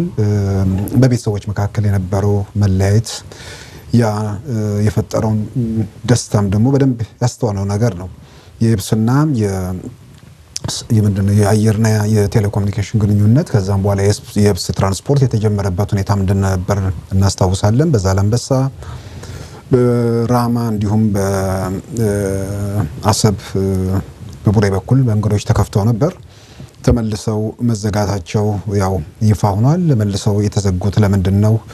ለሚለው እስካሁን በሁለቱም ወገን የተሟላ ዝርዝር ምላሽ ባይሰጥም በተለያዩ መንገድ በምናገኛቸው መረጃዎችም የሚጠቁመው ነገር ምንድን ነው? የጎረቤት ሀገሮች ማለት ድንበር ላይ ያሉት የኢትዮጵያና ኤርትራውያን ይበልጥ እየነገዱ ያሉበት በጣም በከፍተኛ ደረጃ የሸቀጥ ልውውጥ የሚካሄድበት ሁኔታም እንደነበር ይታወሳል እና ከዛ የንግድ ሚዛኑ ላይ የተፈጠረ መዛባት አለ። አንድ እሱ ነው። በሌላ በኩል ግን በዋናነት ቲፔልፎች ነፍሰ ገዳዮችን ከንግድ እንቅስቃሴው ጋር አብረው በማስረግ ያደረጉት እንቅስቃሴ ለመንገዱ መዘጋት አስተዋጽኦ ማድረጉን የሚነገሩ እየተነሳም ነው። ስለዚህ ምንድን ነው ሁለቱ ሀገራት ዝርዝር ጥናቶችን አካሂደው በቋሚነት መንገዱን የሚከፍቱበት ሁኔታ ይፈጠራል ብዬ አምናለሁ። በፕሬዚዳንት ኢሳያስ በተለይ ሽልማቱ ከተገኘበት ጊዜ ጀምሮ ምንም ድምፃቸውን አላሰሙም። ከዛ ጋር ተያይዞ እንግዲህ በሁለቱ ሀገራት መካከል ችግር አለው የሚል ብዙ ወገኖች ያነሳሉ። ግን ችግር ስላለ ነው ወይንስ ይሄ ሽልማት በተለያዩ መድረኮች አይተናል። በተለይ በዋናነት ሰላሙ ከኢትዮጵያና ኤርትራ ጋር የተያያዘ ስለሆነ ሰላም በአንድ ወገን ስለማይመጣ በአንድ እጅም ስለማይጨበጨብ ለሁለቱም ወገኖች ሽልማቱ ይገባል በሚል በተደጋጋሚ የሚነሳ ነገር አለና ስለዚህ ለፕሬዝዳንት ኢሳያስ ዓለም አቀፉ ማህበረሰብ ወይ ደግሞ የኖቤል ኮሚቴው ሽልማቱን ለምን ነፈጋቸው የሚል ጥያቄ የሚያነሱ ሰዎች አሉ። በኖቤል ኮሚቴው በኩል ደግሞ የተሰጠ ዝርዝር ማብራሪያ አለ። የኢትዮጵያና የኤርትራ ጉዳይ ዋና ጉዳይ ቢሆንም ከዛ ባሻገር ጠቅላይ ሚኒስትር አብይ ኢትዮጵያ ውስጥ ላመጡት የዴሞክራሲያዊ ሽግግር ወይ ደግሞ ለውጥ እንዲሁም ደግሞ በሱዳን በደቡብ ሱዳን በኬንያ እና በሶማሊያ መካከል በዚህ በባህር ላይ የነበረውን ግንኙነት ላይ የፈጠሩት ነገር ከዛም ባሻገር በኬንያ በጅቡቲና በኤርትራ መካከል የዲፕሎማሲ ግንኙነት እንዲጀምር ላደረጉት አስተዋጽኦ እነዚህ ድምር ውጤቶች እሳቸውን ለመሸለም አብቅቷቸዋል የሚል ነገር ይናገራሉ። ይሄ ጥያቄውን የበለጠ ያብራረዋል ወይስ ያንን ዋናውን ነገር ፕሬዚዳንት ኢሳያስን ላለመሸለም የሰጡት ምክንያት ነው? እሱ እሱ እንግዲህ ሊያነጋግር ይችላል። ግን እኔ ደግሞ የምረዳው ፕሬዚዳንት ኢሳያስ እውቅና ለነፈጋቸው ወይንም ደግሞ ለዓለም አቀፉ ጠቅላይ ሚኒስትር አብይም ቢደግፉም ለጠቅላይ ሚኒስትር አብይ ወይ ደግሞ ለኢትዮጵያ በጎ ነገር እየተመኙ ቢሆንም እርሳቸውን እውቅና ለነፈገ አካል የሰጠውን ሽልማት እውቅና መስጠት ለዛም አካል እውቅና መስጠት አድርገው ስለተመለከቱት ነው ዝም ያሉት እሳቸው ከምዕራቡ ዓለም ጋር ያላቸው በቃ ምን የእናንተ ሽልማት ተሰጠም አልተሰጠም ትርጉም የለውም ምዕራቡ ዓለም ላይ ባላቸው አቋም። ስለዚህ ለጠቅላይ ሚኒስትር አብይ ደስታቸውን ቢገልጹ በተዘዋሪ ለነዛ እውቅና መስጠት ስለታያቸው ለዛ ሲሉ ነው ወይ ዝም ያሉት የሚለው ነገር አልተመለሰም። አንዱ እሱ ነው። በሌላ በኩል የኢትዮጵያ አምባሳደር ሆነው ኤርትራ የሄዱት አቶ ሬድዋን ሁሴን ከአንድ ዓመት ከስድስት ከሰባት ወር በኋላ ለመጀመር ነው የሹመት ደብዳቤዎቹን ፕሬዚዳንት ኢሳያስ ከሳምንት ወይ ከአስር ቀን በፊት ነው የተቀበሉት። ስለዚህ ግንኙነቱ ችግር ቢኖርበት የሹመት ደብዳቤውን አሁን መቀበል ነበረባቸው የሚለውንም ነገር እሱንም ጨምሬ ያነሳለሁ። ያም ሆኖ ጠቅላይ ሚኒስትር አብይ ትላንት ዛሬ ነው ማለት ነው አዲስ አበባ ሲገቡ ከሽልማቱ ጋር ተያይዞ የተናገሩት ነገር አለ። ያው በጣም ትልቁ ነገር ፕሬዚዳንት ኢሳያስን በኦስሎም ደጋግመው አንስተዋቸዋል። አዲስ አበባም ሲገቡም ደጋግመው አንስተዋል። ያለሳቸው ያለእርሳቸው ትብብር የሰላም ስምምነቱ የማይታሰብ ነገር ነበር። ፕሬዚዳንት ኢሳያስ ትልቅ ሚና ተጫውተዋል። ጠቅላይ ሚኒስትር አብይም ይህን ሚናቸውን በዓለም አቀፉ መድረክም አረጋግጠዋል። የኖቤል ኮሚቴው ሰብሳቢም ይህን መስክረዋል። ግን ያም ሆኖ ጠቅላይ ሚኒስትር አብይ አዲስ አበባ ከገቡ በኋላ ይሄንን ከፕሬዚዳንት ኢሳያስ ጋርም እንደምናከብረው ተስፋ አደርጋለሁ የሚል ነገር ሲናገሩ ተስፋ ውስጥ እርግጠኝነት የለም መቶ በመቶ። ስለዚህ አሁንም እዛ ጋር በግሌም የሰላም ስም ማለት የኖቤል ሽልማቱ ላይ ፕሬዚዳንት ኢሳያስ ብዙ ደስተኛ ስለማይሆኑ የኖቤል ሽልማቱን አብረን ላናከብር እንችላለን የሚል ጥርጣሬ ነው ያደረባቸው ወይንስ ከዛም ያለፈ በሁለቱ ሀገራት መካከል እንደተባለው ችግር አለው ወይ የሚለው ያልተመለሰ ነገር ግን ነው። እኔ ቢያንስ ኤርትራም ኢትዮጵያም ፕሬዚዳንት ኢሳያስም ጠቅላይ ሚኒስትር አብይም አሁን ኢትዮጵያና ኤርትራ ባሉበት ሁኔታ አብረው ተያይዘው ተደጋግፈው ከመሄድ ውጭ አማራጭም ያላቸው ነገር አይመስለኝም። ሰላም እንደሆነ ተስፋ አደርጋለሁ። ይሄን ነው ማለት የምችለው። ጴጥሮስ በዚህ ላይ ማለት የምትችለው ካለ እንግዲህ ሽልማቱን በተመለከተ ኤርትራ ፕሬዚዳንት ኢሳያስ አፈወርቂ እስካሁን ምላሽ አልሰጡም፣ አስተያየትም አልሰጡም የሚሉ ወገኖች እንዳሉ ሁለቱ መሪዎች ከሐምሌ ወዲህ አለመገናኘታቸውን ጠቅሰው ሌሎች ችግሮች ይኖራሉ የሚል ነገር ያነሳሉ። ሲሳይ እንዳለው ነው የኤርትራና የኢትዮጵያ ችግሮች ለዘመናት አብረው የኖሩ በፖለቲካ ልዩነት በተለያየ መልኩ ኤርትራ ሉዓላዊ ሀገር ሆና አሁን ነጻ ሀገር ሆና ያለች ናት። አሁን ችግሮቻቸውንም በጋራ የሚፈቱበት መድረክ ካልመጣ በስተቀር ሁለቱም ሀገሮች እድል ዕጣ ፈንታቸው የተሳሰረ ነው። በአንድ ላይ ኢኮኖሚያዊ፣ ሌሎች ጉዳዮችንም አንድ ላይ ካልፈቱት በስተቀር የትም ርቀት መሄድ አይችልም የሚለው ነገር በሁለቱም ሀገራት ዘንድ ከስምምነት ወይም ስምምነት ላይ የደረሰ ጉዳይ ይመስለኛል እና ወደኋላ መመለስ ያለ ወደኋላ መመለስ ሁለቱንም ሀገራት የሚጎዳ ነው። ስለዚህ ምን አይነት ችግሮች ቢኖሩ ነው ይህን ያሉ ጊዜ ያልተገናኙት የሚል ነገር ይነሳል። ወይስ ሁሌስ መገናኘት አለባቸው? የግድ እንደዚህ አይነት ትችቶች እንዳይመጡ የየራሳቸው ሀገር የተለያየ ፕሮግራም ሊኖራቸው ይችላል። እኔ እዚህ ላይ የሚታየኝ ለየት ያለ ነገር ምንድን ነው ፕሬዚዳንት ኢሳያስ አፈወርቄ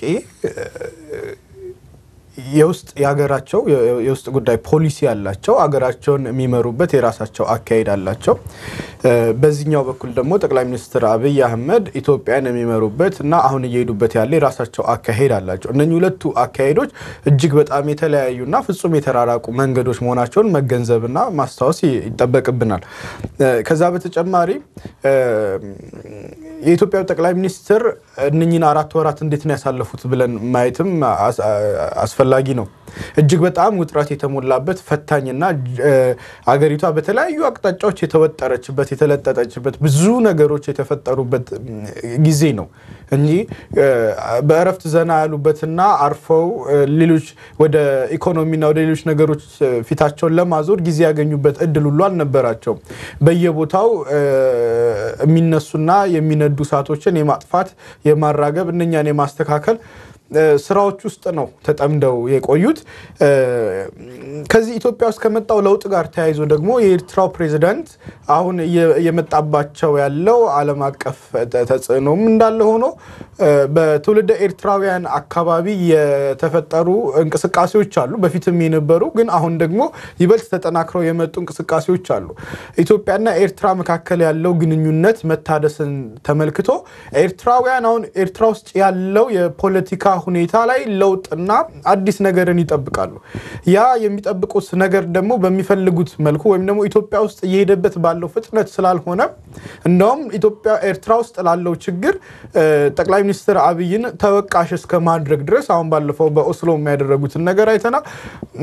ጠቅላይ ሚኒስትር አብይን ተወቃሽ እስከ ማድረግ ድረስ ርቀቶችን ሲጓዙ እያየን ነው ያለ ነው።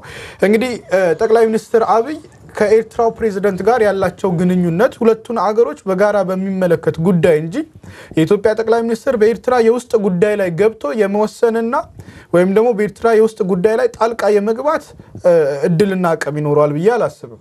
ያንንም ደግሞ ፕሬዚዳንት ኢሳያስ አፈወርቄ አይፈቅዱለትም። ስለዚህ ሁለቱን ነገሮች መነጣጠል ይጠበቅብናል። ስለዚህ ኢሳያስ አፈወርቄም የራሳቸው ብዙ የቤት ስራዎች አሉባቸው። ጠቅላይ ሚኒስትር አብይም የራሳቸው ብዙ ጉዳዮች አሏቸው።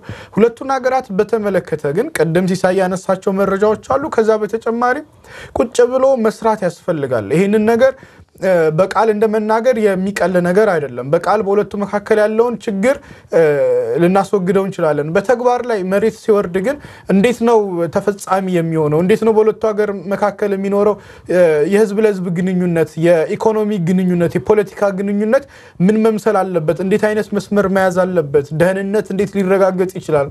የሁለቱንም ሀገር ሰላምና ጸጥታ ሳይነካ የውስጥ ጉዳያቸውን ሳይነካ እንዴት አድርገው እነኚህ ሁለት ሀገሮች በጋራ መስራት ይችላሉ የሚለውን ነገር ጊዜ የሚወስድ ጉዳይ ነው። ከዛ በተጨማሪ ደግሞ በእነኚህ ሁለት ህዝቦች መካከል አልነበረም ችግር የነበረው በፖለቲካና በተወሰኑ አመራሮች ውስጥ የነበረ ችግር ነው ወደ ህዝቡ ሄዶ ህዝቡን ለእልቂት ያደረሰው። ስለዚህ አሁን በእነኚህ አመራሮች መካከል መተማመን መፈጠር መቻል አለበት። ስለዚህ ይሄ መተማመን ደግሞ በቃልና በአንድ በሁለት ሳምንት ስራ የምታመጣው ሳይሆን ጊዜ የሚፈልግ ፖሊሲ፣ ስትራቴጂ ተነድፎበት በደንብ ጊዜ የሚፈልግ ነገር ነው ብዬ አስባለሁ። የኢሳያስ አፈወርቂ ዝምታ ላይ የዓለም አቀፍ ሚዲያዎችን ተጽዕኖንም መዘንጋት የለብንም። በተለይ ጠቅላይ ሚኒስትር አብይ ለኖቤል እጩ ከሆኑ በኋላና እንዳሸነፉ ከታወቀ ጊዜ ጀምሮ purpose ሊሆን ብለው ጉዳዩን ከኢሳያስ አፈወርቂ ጋር በማገናኘት ዋናው ጉዳይ የኤርትራ ጉዳይ ከሆነ እንዴት ኢሳያስ አፈወርቂ ሊሸለሙ አልቻሉም? ወይም እሳቸው እንዴት ከዚህ ነገር ገለል ተደረጉ? በማለትና እንዳውም የቅናት ስሜት ሊፈጠርባቸው እንደሚችል ከእሳቸው በግማሽም እድሜ የሚያንስ ያንግ የሆነ ፖለቲከኛ በዚህ አጭር ጊዜ ውስጥ እንደዚህ አይነት ሰክሰስ ሲያገኝ እሳቸው እዛው ጎረቤት ሀገር ሆነው እንደዚህ አይነት ሁኔታ ውስጥ መቀመጣቸው ቅናት እንደሚፈጥርባቸውና ወደ ሌላ ችግር ውስጥ ሊከት እንደሚችል እንዳውም እንደ ስጋት አድርጎ ሲያስቀምጡት ነበረ። ይሄ ራሱ ራሱን የቻለ ተጽዕኖ ይፈጥራል ብዬ አምናለሁ። ወንድማገኝ ከአንተ ልጀምርና እንግዲህ የጥምቀት በዓል በተባበሩ መንግስታት የትምህርት የሳይንስና የባህል ድርጅት ዩኔስኮ በማይዳሰስ ቅርስነት መመዝገቡ ተገልጿል። ቀደም ሲል ብለነዋል። በርካታ አዎንታዊ ዜናዎች ኢትዮጵያን በተመለከተ በዚህ ሳምንት በብዛት እየመጡ ነው። ይሄ ተስፋ የሚሰጥ ነው። ሀገር ውስጥ ካለው የተለያዩ ችግሮች አንጻር እንዲህ አይነቱን ነገር መስማት ለነገ ተስፋ እንድንሰንቅ የሚያደርግ ነው እና ይሄ ራሱ እንደ አንድ የተመዘገበ ነው። የጥምቀት በዓል በማይዳሰስ ቅርስነት መመዝገቡ ከአስረኛው ያደርገዋል። ሌሎች በርካታ የኢትዮጵያ ቅርሶችም በማይዳሰስ ቅርስነት መመዝገባቸው እናስታውሳለን። ምን ተሰማ? በጣም አመሰግናለሁ። ትልቅ ደስታ ነው የተሰማኝ። እንግዲህ ኢትዮጵያ ተነግሮ የማያልቅ መንፈሳዊ ቅርስ ባለቤት እንደሆነ ማረጋገጫ ነው። በዩኔስኮ ከተመዘገቡት በዓለም የባህል የትምህርት ጥናት ልዩ ሆነው ከተመዘገቡት ከሚጠጉ ቅርሶች መካከል ጫላ በቅርቡ መዝገቡ የሲዳማ ጨንበለላ ባህል፣ የመስቀል በዓል፣ እሬቻ ተመዝግቧል። ዛሬ ጥምቀት ተመዝግቧል። እንግዲህ ይሄ ነው መንፈሳዊ ቅርስነት ለዓለምን ስናበረክት ኢትዮጵያኖች የተሰጣቸው ጸጋ አለ። በጸጋቸው ሰላምን አግኝተው ነፃነትን አግኝተው መጠቀም ከቻሉ ራሳቸውንም ዓለምንም ለመቀየር የሚችሉ ተስፋ ያላቸው ጠንካራ ፍጡሮች እንደሆንን ያሳያል። በታሪክም በዓለም ላይ ጥሩ አጋጣሚ ነው። አሁን የኖቤል ሽልማቱ ላይ ኢትዮጵያን ታሪክ በተመለከተ ሲነገር መገኛ ነው፣ ስራ ፍለቂያ ነው፣ የመንግስት ታሪክም ምንጭ ነው፣ ህግም ጭምር እየተባለ ነው። ስለዚህ ለጥናት የሚገፋፉ ነገሮችም አሉ። ይሄ እንግዲህ ይህንን ነገር ስናስበው ዩኔስኮ የኢትዮጵያን ቅርሶች በዚህ ሁኔታ እየመዘገብ ሲሄድ ከተሰሩት ስራ የበለጠ እንድንሰራ ውስጣችንን ደግሞ እንድንፈትሽ የሚያደርጉ ነገሮች አሉ። ጓዳችንን ማጽዳት እንዳለብን ዓለም በዚህ መልኩ እኛን ሲያየን ቀደም ሲል የነበሩ ስሞች አሉ፣ የረሃብ ስሞች አሉ፣ የጦርነት ስሞች አሉ፣ የእርስ በርስ ስሞች አሉ፣ ወገን ወገኑን ስም አለ። የቅርብ ጊዜው እነዚህ ያገኘናቸው ስንቆች ግን ተደጋግፈን ራሳችንንም ወገናችንንም ለመቀየር ቁርጠኛ መሆኑን ይጠይቃል። እንዲህ አይነት ቅርሶች ወደ ከፍተኛ ትምህርት ተቋማት ውስጥ እንምጣ። ቆም ብለው ተማሪዎቹ በዩኒቨርሲቲ ደረጃ ቁጭ ብለው የአካዳሚክ ፍሪደም ምንድን ነው? ከዚህ ከፍተኛ ትምህርት ይዘን የምንወጣው ነገር ምንድን ነው? ዓለም ወይም ኢትዮጵያ ዓለም ከኛ ምን ይጠብቃል? ዓለምን የሚረዱበት መነጽር መቀየር አለበት። ራሳቸውን በእውቀት ዓለምን በመረዳትም እያነጹ እየለወጡ የበጎ ስራ አገልግሎት የቮለንተሪዝም ስራ ከዛው ከከፍተኛ ትምህርት መጀመር እንዳለበትም ነው አሁን የሚሰማኝ። ስለዚህ አሁን ዩኔስኮ በዚህ ሲመዘግብ በአፍሪካ ቀንድ ላይ ያለን ተሰሚነት ከፍ እያለ የሚሄድ ነገር ነው። የአፍሪካ አንድነት መቀመጫው አዲስ አበባ ነው። ስለዚህ ኢትዮጵያኖች የውስጥ ጥንካሬያቸውን የሚያሳዩበት የትብብር ጊዜ እንደሆነ ማሳያ ነው። የዩኔስኮ የኢትዮጵያ ኦርቶዶክስ ቤተ ክርስቲያን የጥምቀት ባህል አንድ የዓለም ትሩፋት ሆኖ ተመዝግቧል። በዚህ ትሩፋት ኢትዮጵያኖችስ የት ድረስ ነው የምንጓዘው? ይሄ ትሩፋት በኢትዮጵያ ኦርቶዶክስ ቤተክርስቲያን ውስጥ ያለውን ችግር በመፍታት አብሮነትን በማሳየት ሰብአዊ አገልግሎትን፣ የተጎዱ ወገኖችን፣ አካባቢን በመንከባከብ ከሌሎች ወንድሞች እህቶች ጋር ከሌላ እምነት ተከታይ ጋር ከራሳችን ወገን ጋር ይሄ በረከት መድረስ አለበት። ዓለም በዚህ ደረጃ ሲያደንቅ በባህል ቅርስ ሲመዘግበው እኛ በዚህ ቅርስ መደሰት፣ መጠቀም፣ በረከቱን መቅመስ አለብን። ይሄ አልቀመስንም ማለት አይደለም፣ ግን አሁን ከገባንበት ችግር እንደንጠቀምበት ይገባል። በሁሉም በኩል ያሉ ሃይማኖቶች መልካም እሴቶቻችን ካለንበት ችግር ለመውጣት ትልቅ ኃይል ሊሆኑን ይገባል። ከዚህ መማር ያለብን ይመስለኛል። ይህንን ማለት የምችለው ሲሳይ እንግዲህ ይህንን የጥምቀትን በዓል በዓለም ቅርስነት ለማስመዝገብ የተደረገው ጥረት ተሳክቶ አሁን አስረኛው ቅርስ ሆኗል። ከማይዳሰሱት ደግሞ ሶስተኛ አራተኛ ይመስለኛል ከጨምበላላ ከእሬቻ በዓል ቀጥሎ ይሄኛውም ተመዝግቧል። እስካሁን መዘግየቱ በራሱ አስገርሞኛል። ጥምቀትን የሚያህል ስንት ሺህ ዘመን የኖረ ታላቅ ድምቀት የሚከበር ነጮችም ከመላው ዓለም ክፍል መጥተው በዚህ በዓል የሚታደሙበት ስነስርዓት ነውና እስካሁንም መዘግየቱ በራሱ አስገራሚ ነው። የኢትዮጵያ ኦርቶዶክስ ተዋሕዶ ቤተክርስቲያን ፓትርያርክ አቡነ ማትያስም ይህን አስመልክቶ መግለጫ ሰጥተዋል። ይሄ የኢትዮጵያ ኦርቶዶክስ ተዋሕዶ ቤተክርስቲያን እንግዲህ በዚህ መመዝገቡን አስመልክቶ ነው ፓትርያርኩ የእንኳን ደስ አላችሁ መግለጫ የሰጡትና ይሄንን በተመለከተ ምን ማለት ይቻላል? ኢትዮጵያ ብዙ ቅርሶች አሏት። ገና ሊመዘገቡ የሚገባቸው በርካታ በዓለም ቅርስነት መመዝገብ ያለባቸው የማይዳሰሱም የሚዳሰሱም ቅርሶች እንዳሏት ይታወቃልና ይሄ ለኢትዮጵያ የሚሰጠው ጥቅም ምንድን ነው?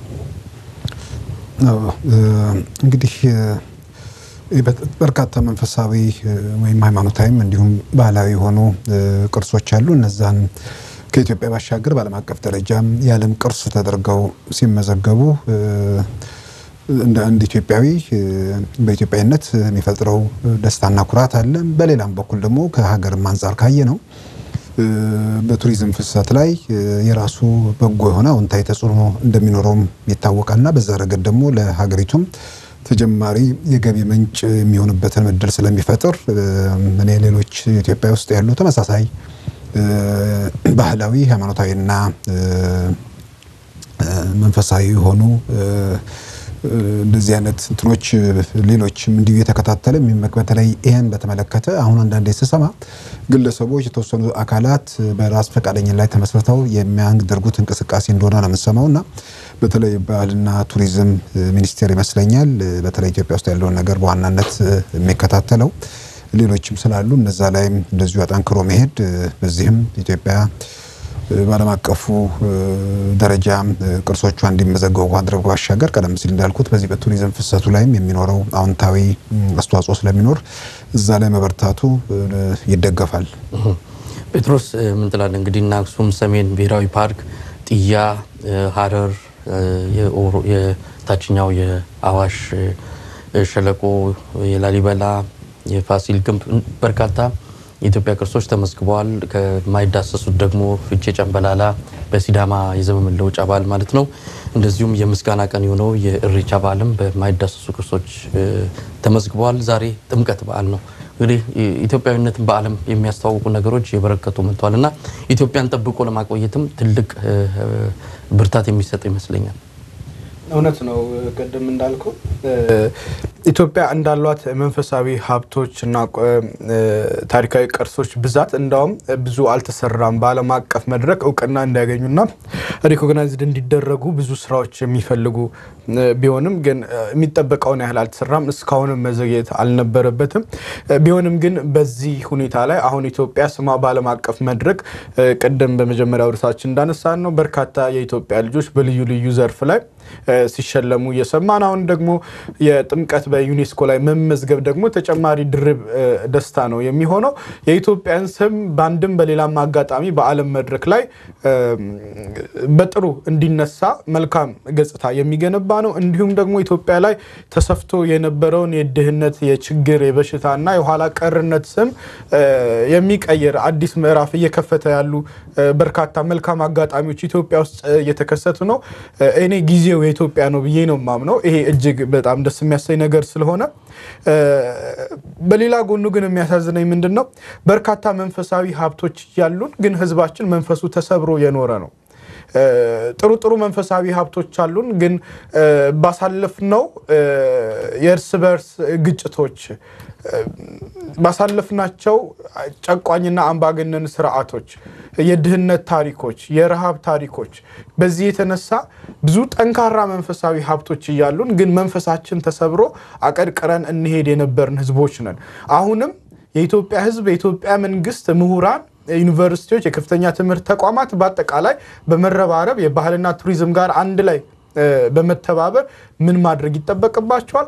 ኢትዮጵያውያን ባለን ሀብት የምንኮራበት ባለን ሀብት የምንሰራበት ከቱሪዝም ጥቅም የምናገኝበት ዓለም አቀፍ መድረክ ላይ ራሳችንን ተሰሚ የምናደርግበት ተወዳዳሪ የምናደርግበትን መንፈሳዊ ልዕልናና ስብዕና መገንባት መቻል አለባቸው። እዚህ ነገር ላይ በጣም አበክረው መስራት ይጠበቅባቸዋል። በዓለማችን ላይ የምናውቃቸው በርካታ ሀገሮች የእኛን ያህል እንኳን ጥልቅ የሆነና ረቂቅ ሀብት ሳይኖራቸው ባላቸው ትንሽ ነገር ግን ሰማይ ጥግ ድረስ ሰርተውበት ብዙ የቱሪስት መስህብ ሲያደርጉትና ወደ ገንዘብ ሲቀይሩት እናያለን። የቱሪስት መስህብ መሆኑና ወደ ገንዘብ መቀየሩ እንዳለ ሆኖ የኢትዮጵያ ሕዝብ ደግሞ ባሉት መንፈሳዊ ሀብቶች መንፈሳዊ ስብዕና፣ መንፈሳዊ ኩራቱ፣ ዲግኒቲው ተጠብቆለት ልዕልናው ሊሰማው ይገባል። ስለዚህ እስከ ዛሬ አንገታችንን አቀርቅረን መንፈሳዊ ሀብት እያለን ግን መንፈሳችን ተሰብሮ ኖረናል።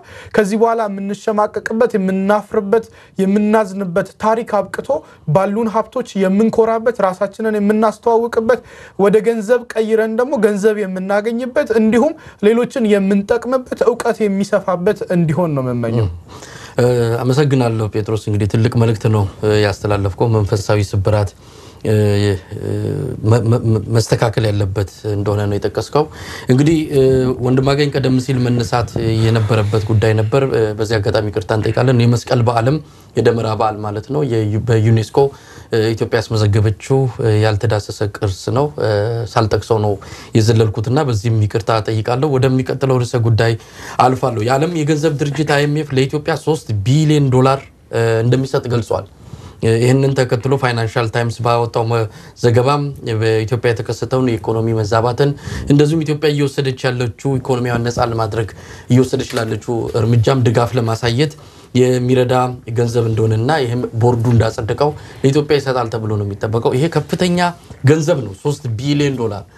ምናልባት አሁን በስልጣን ላይ ያለው መንግስት ከፍተኛ የሆነ የገንዘብ እጥረት ገጥሞታል እጁ የተፍታታ አይደለም እና የውጭ ምንዛሪውም ከፍ እያለ ነው። አንድ ዶላር ከ30 በላይ ብር በህጋዊ ደረጃ እየተመነዘረ እንዳለ እንሰማለን እና ኢኮኖሚውን ለማሟሟቅና ለማንቀሳቀስ እንደሚረዳ እየተገለጸ ነው። በአንጻሩ ደግሞ ሌሎች ወገኖች ይሄ እጅ መንሻ ነው፣ የኖቤል ሽልማቱንም ጨምሮ ይሄ ገንዘብ እጅ መንሻ ነው፣ በተለይ በአባይ ግድብ ላይ ኢትዮጵያ እጇን አሳልፋ እንድትሰጥና ለግብፅ በአሸናፊነት እንዲጠናቀቅ አፍ ማስያዣ የተሰጠ ገንዘብ ነው በሚልም የሚያነሱ ወገኖች አሉ። እንግዲህ ይሄ ነው አይደለም የሚለውን ማረጋገጫ ማግኘት አልተቻለም። እንዴት አየው የገንዘብ ድጋፉን? በጣም አመሰግናለሁ መሳይ። ከዛ በፊት እንደው አንድ ደቂቃ ከሰጠኝ ይሄ ቅርሶችን በተመለከተ ለተመልካቾቻችን እግረ መንገዳችንን መረጃ ሰጥቼ ባልፍ ብዬ ነው። አንተ ካልከው ላይ የተወሰነውን ለመጨመር ኢትዮጵያ በተባበሩት መንግስታት እንግዲህ የትምህርት የሳይንስና ባህል ድርጅት ዩኔስኮ ያስመዘገበቻቸው ቅርሶች ወደ አስራ ሶስት ደርሰዋል። በዚህ ምክንያት ከአፍሪካ እየመራን ነው። ቀዳሚ መሆን ችለናል። የሚዳሰሱ ቅርሶች ተብለው የተመዘገቡት አንደኛ ቅዱስ ላሊበላ ውቅር አብያተ ክርስቲያን ነው። ሁለተኛ አክሱም ነው። ሶስተኛ የሰሜን ብሔራዊ ፓርክ ነው። አራተኛ የአፄ ፋሲል ግንብ ነው። አምስተኛ የታችኛው አዋሽ ሸለቆ ነው። ስድስተኛ የታችኛው የኦሞ ሸለቆ ነው። ሰባተኛ የትክል ድንጋይ ነው። ስምንተኛ የሀረር ጀጎል ግንብና ከተማ ነው። ዘጠነኛ ኮንሶ ባህላዊ ሲሆኑ የማይዳሰሱት ቅርሶች ቅድም እንዳልከው የመስቀል በዓል፣ ፊቼ ጨምበላላ፣ የገዳ ስርዓትና ጥምቀት ናቸው። እንግዲህ የሀገራችንን ትንሣኤ በተወሰነ መልኩ ስለሚያሳዩ ቅድም ከጠቀስካቸው የተወሰኑ ሰዎች ወደ አስር global እንትን የተሸለሙ ሰዎችን ያልተጠሩትን ስማቸውን ብናነሳ ለነሱ ሞራል ለእኛም ክብር ስለሆነ እነሱን ላንሳ። ፕሮፌሰር አታላይ አለም የ2011 የሃርቫርድ ዩኒቨርሲቲ ሳይካትሪክ ኢፒዲሞሎጂ ባዮሎጂስቲክ አሸናፊ ናቸው። ዶክተር ግርማ አረጋዊ እንደዚሁ ፊዚክስ ሳይን ኦፍ ዘየር የ2019 ኖርዝ ካሮሊና፣ ዶክተር ሀረገወይን አሰፋ ቅድም ያልከው ነው በኬሚስትሪ በአሜሪካን ሶሳይቲ ያሸነፉ ናቸው። ደራርቱ ሁሉን አንስታል። ማርታ ገብርዬ የወተር ፕራይዝ ናቸው። ሶስና ወጋየው የአውስትራሊያ የጀርናል ዲቪዥን አዋርድ ተሸላሚ ናቸው። አስረኛ ዶክተር ዘቢብ የኑስ ኑሩ ናቸው። የፊውቸር የአፍሪካን ኢንዲፔንደንስ ሪሰርቸር ያወጣው ላይ እሳቸውም እንደዚሁ አሸናፊ ናቸው። ስለዚህ የኢትዮጵያ ቀን ትንሣኤን የሚጠቁሙ ናቸው። ዶክተር አብይም እንዳሉት ዛሬ ራት ምሽት ላይ በብልጽግና ፓርቲ ዙሪያ የተወሰነ ነገር ለማለት ሞክረዋል እና ቅድም አንተ መሳይ ካነሳውን ጥያቄ ጋር ይሄዳል። የዓለም አይኤምኤፍ የዓለም የገንዘብ ድርጅት ለኢትዮጵያ ለማበደር ወስኗል እስከ ሶስት ቢሊዮን ብር የኢትዮጵያ ለጀመረችው ኢኮኖሚ ማሻሻያ ግብዓት እንዲሆን ነው። በተለያየ የተለያየ ስም ሊሰጥ ይችላል። ኢትዮጵያ በዚህ ደረጃ በዓለም ደረጃ ተቀባይነቷም ተጽዕኖ ፈጣሪነቷም እየጨመረ ባለበት ወቅት ከግብፅ ጋር የግብፅን ተጽዕኖ አሸንፏት በአባይ ጉዳይ ታላቁ ህዳሴን ግድብ ጥቅም አሳልፋ ትሰጣለች የሚል ትርጉም ወይም አንድምታ ያለው ንግግር ሊሰጥ ይችላል። ግን ይሄ በምክንያት እኛ የምንሞግተው ነው። ኢትዮጵያ በዚህ ደረጃ አሁን ያሉት ወኪሎች ኢትዮጵያን ጥቅም አሳልፈው ለማለት እኔ ምንም ምክንያት የለኝም።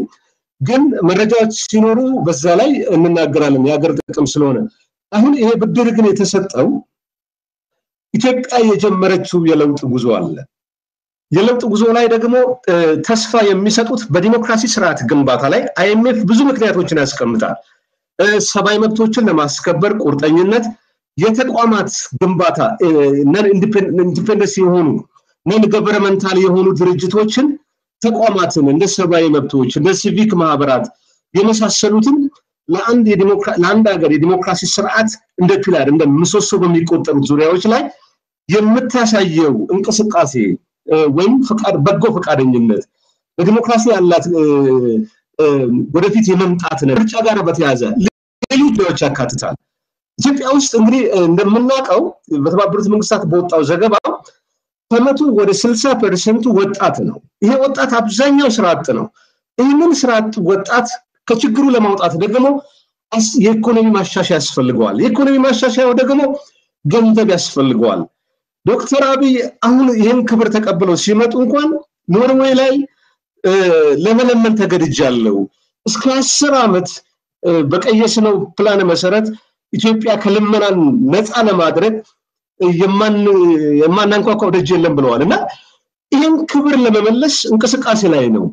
እንደ ማህበረሰብ ምናልባት ብድሩ ታስታውስ እንደሆነ እንደዚህ አይነት ብድሮች ህወሓት ለሀያ ሰባት ዓመታት ከሌሎች ዓለም አቀፍ ተቋማት የተበደረው ብድር እና መሬት ላይ ያዋለው እና የባከነውን ገንዘብ ምናልባት ይረዳኛል ወደ ሁለት ቢሊዮን ብር ከኢትዮጵያ ሸስቷል፣ ወጥቷል። ዛሬ የምንቀበለውን ብር ወደ መሬት የሚያወርዱ አመራሮች መጥተዋል። የምንተኛበት ጊዜ አሁን በራት ምሽቱ ላይ ዶክተር አብይ ሲናገሩ እንቅልፍ የምንተኛበት ጊዜ ላይ አይደለንም። ከረሃብ ከችብር ከኢኮኖሚ ድህነት ለመውጣት እጅ ለእጅ ተያይዘን ጠንከረን መስራት አለብን። የፖለቲካ ችግራችንን እዛው ፖለቲካው እንተውና በስራ ቦታችን በማህበራዊ ህይወታችን ግን ኢትዮጵያን ወደ ብልጽግና በሚወስዳት ነገር እንረባረብ ብለዋል። ስለዚህ ይሄ የሚሰጠው ገንዘብ የተለያየ ምክንያት ሲሰጠው ግን ብድሩ ኢትዮጵያኖች ሰርተው የሚከፍሉት ነው፣ ችሮታም አይደለም። ኢትዮጵያ ያሳያችው አንዳንድ እንቅስቃሴዎች ምክንያት ሆነው ነው ብድሩ ሊሰጥ የቻለው የሚል አመለካከት ነው ያለኝ መሳይ። ዓለም የገንዘብ ድርጅት አይኤምኤፍ ሶስት ቢሊዮን ዶላር እንደሚሰጥ ሲገለጽ ብዙ ነገሮች ጭንቅላታችን ውስጥ ይመጣሉ። ብዙ ጊዜ አንተም በመረጃ እያጣቀስ ከምትገልጸው ነገር አለ። ኢትዮጵያ ብድር የማይፈሩ መሪዎች ናቸው ያሏት። በ27 ዓመት ጊዜ በህወሓት ዘመን የተበደርነውን እንግዲህ መቼ እንደምንከፍለውም እሱን ፈጣሪ ወቀው በልጆች ልጅ ልጆቻችን ላይ ጭነነው ጥለነው የምናልፈው ብድር ነው። ስለዚህ ብድር ስመጣ ያሳስበናል። ሶስት ቢሊዮን ዶላር ነው። ለዚህ ደግሞ በኃላፊነት ተሰምቶት ይህንን ብድር በአግባቡ ጥቅም ላይ ለማዋል የሚያስችል ቆራጥ አመራር አለ ወይ ተፈጥሯል የሚለውም በጥያቄነት የሚነሳ ነው። አበዳሪዎች ስለማንከፍል ወይም ደግሞ ብድሩ ከሚገባው በላይ ስለደረሰብን ይመስለኛል ፊት እየነሱ እንደነበረ ሲገለጽ ነበር። ሌላው ቀርቶ በኪሳራ የሚመዘገቡ ፕሮጀክቶች ነበሩ። የአዲስ አበባ ቀላል ባቡር ፕሮጀክትን ማየት እንችላለን። ሶስት ዓመት ሆነው አገልግሎት መስጠት ከተጀመረ እስካሁን አምስት ቢሊዮን ብር ቢሊዮን ብር ነው የኢትዮጵያ ብር ኪሳራ እንደገጠመው ይነገራል። ይሄ በጣም ቅስም የሚሰብር መረጃ ነው። እስካሁን በሶስት ዓመቱ 250 ሚሊዮን ብር ብቻ ነው ከመንገደኞች ከቲኬት የተገኘው ገቢ አምስት ቢሊዮን ብር ኪሳራ ገጥሞታል።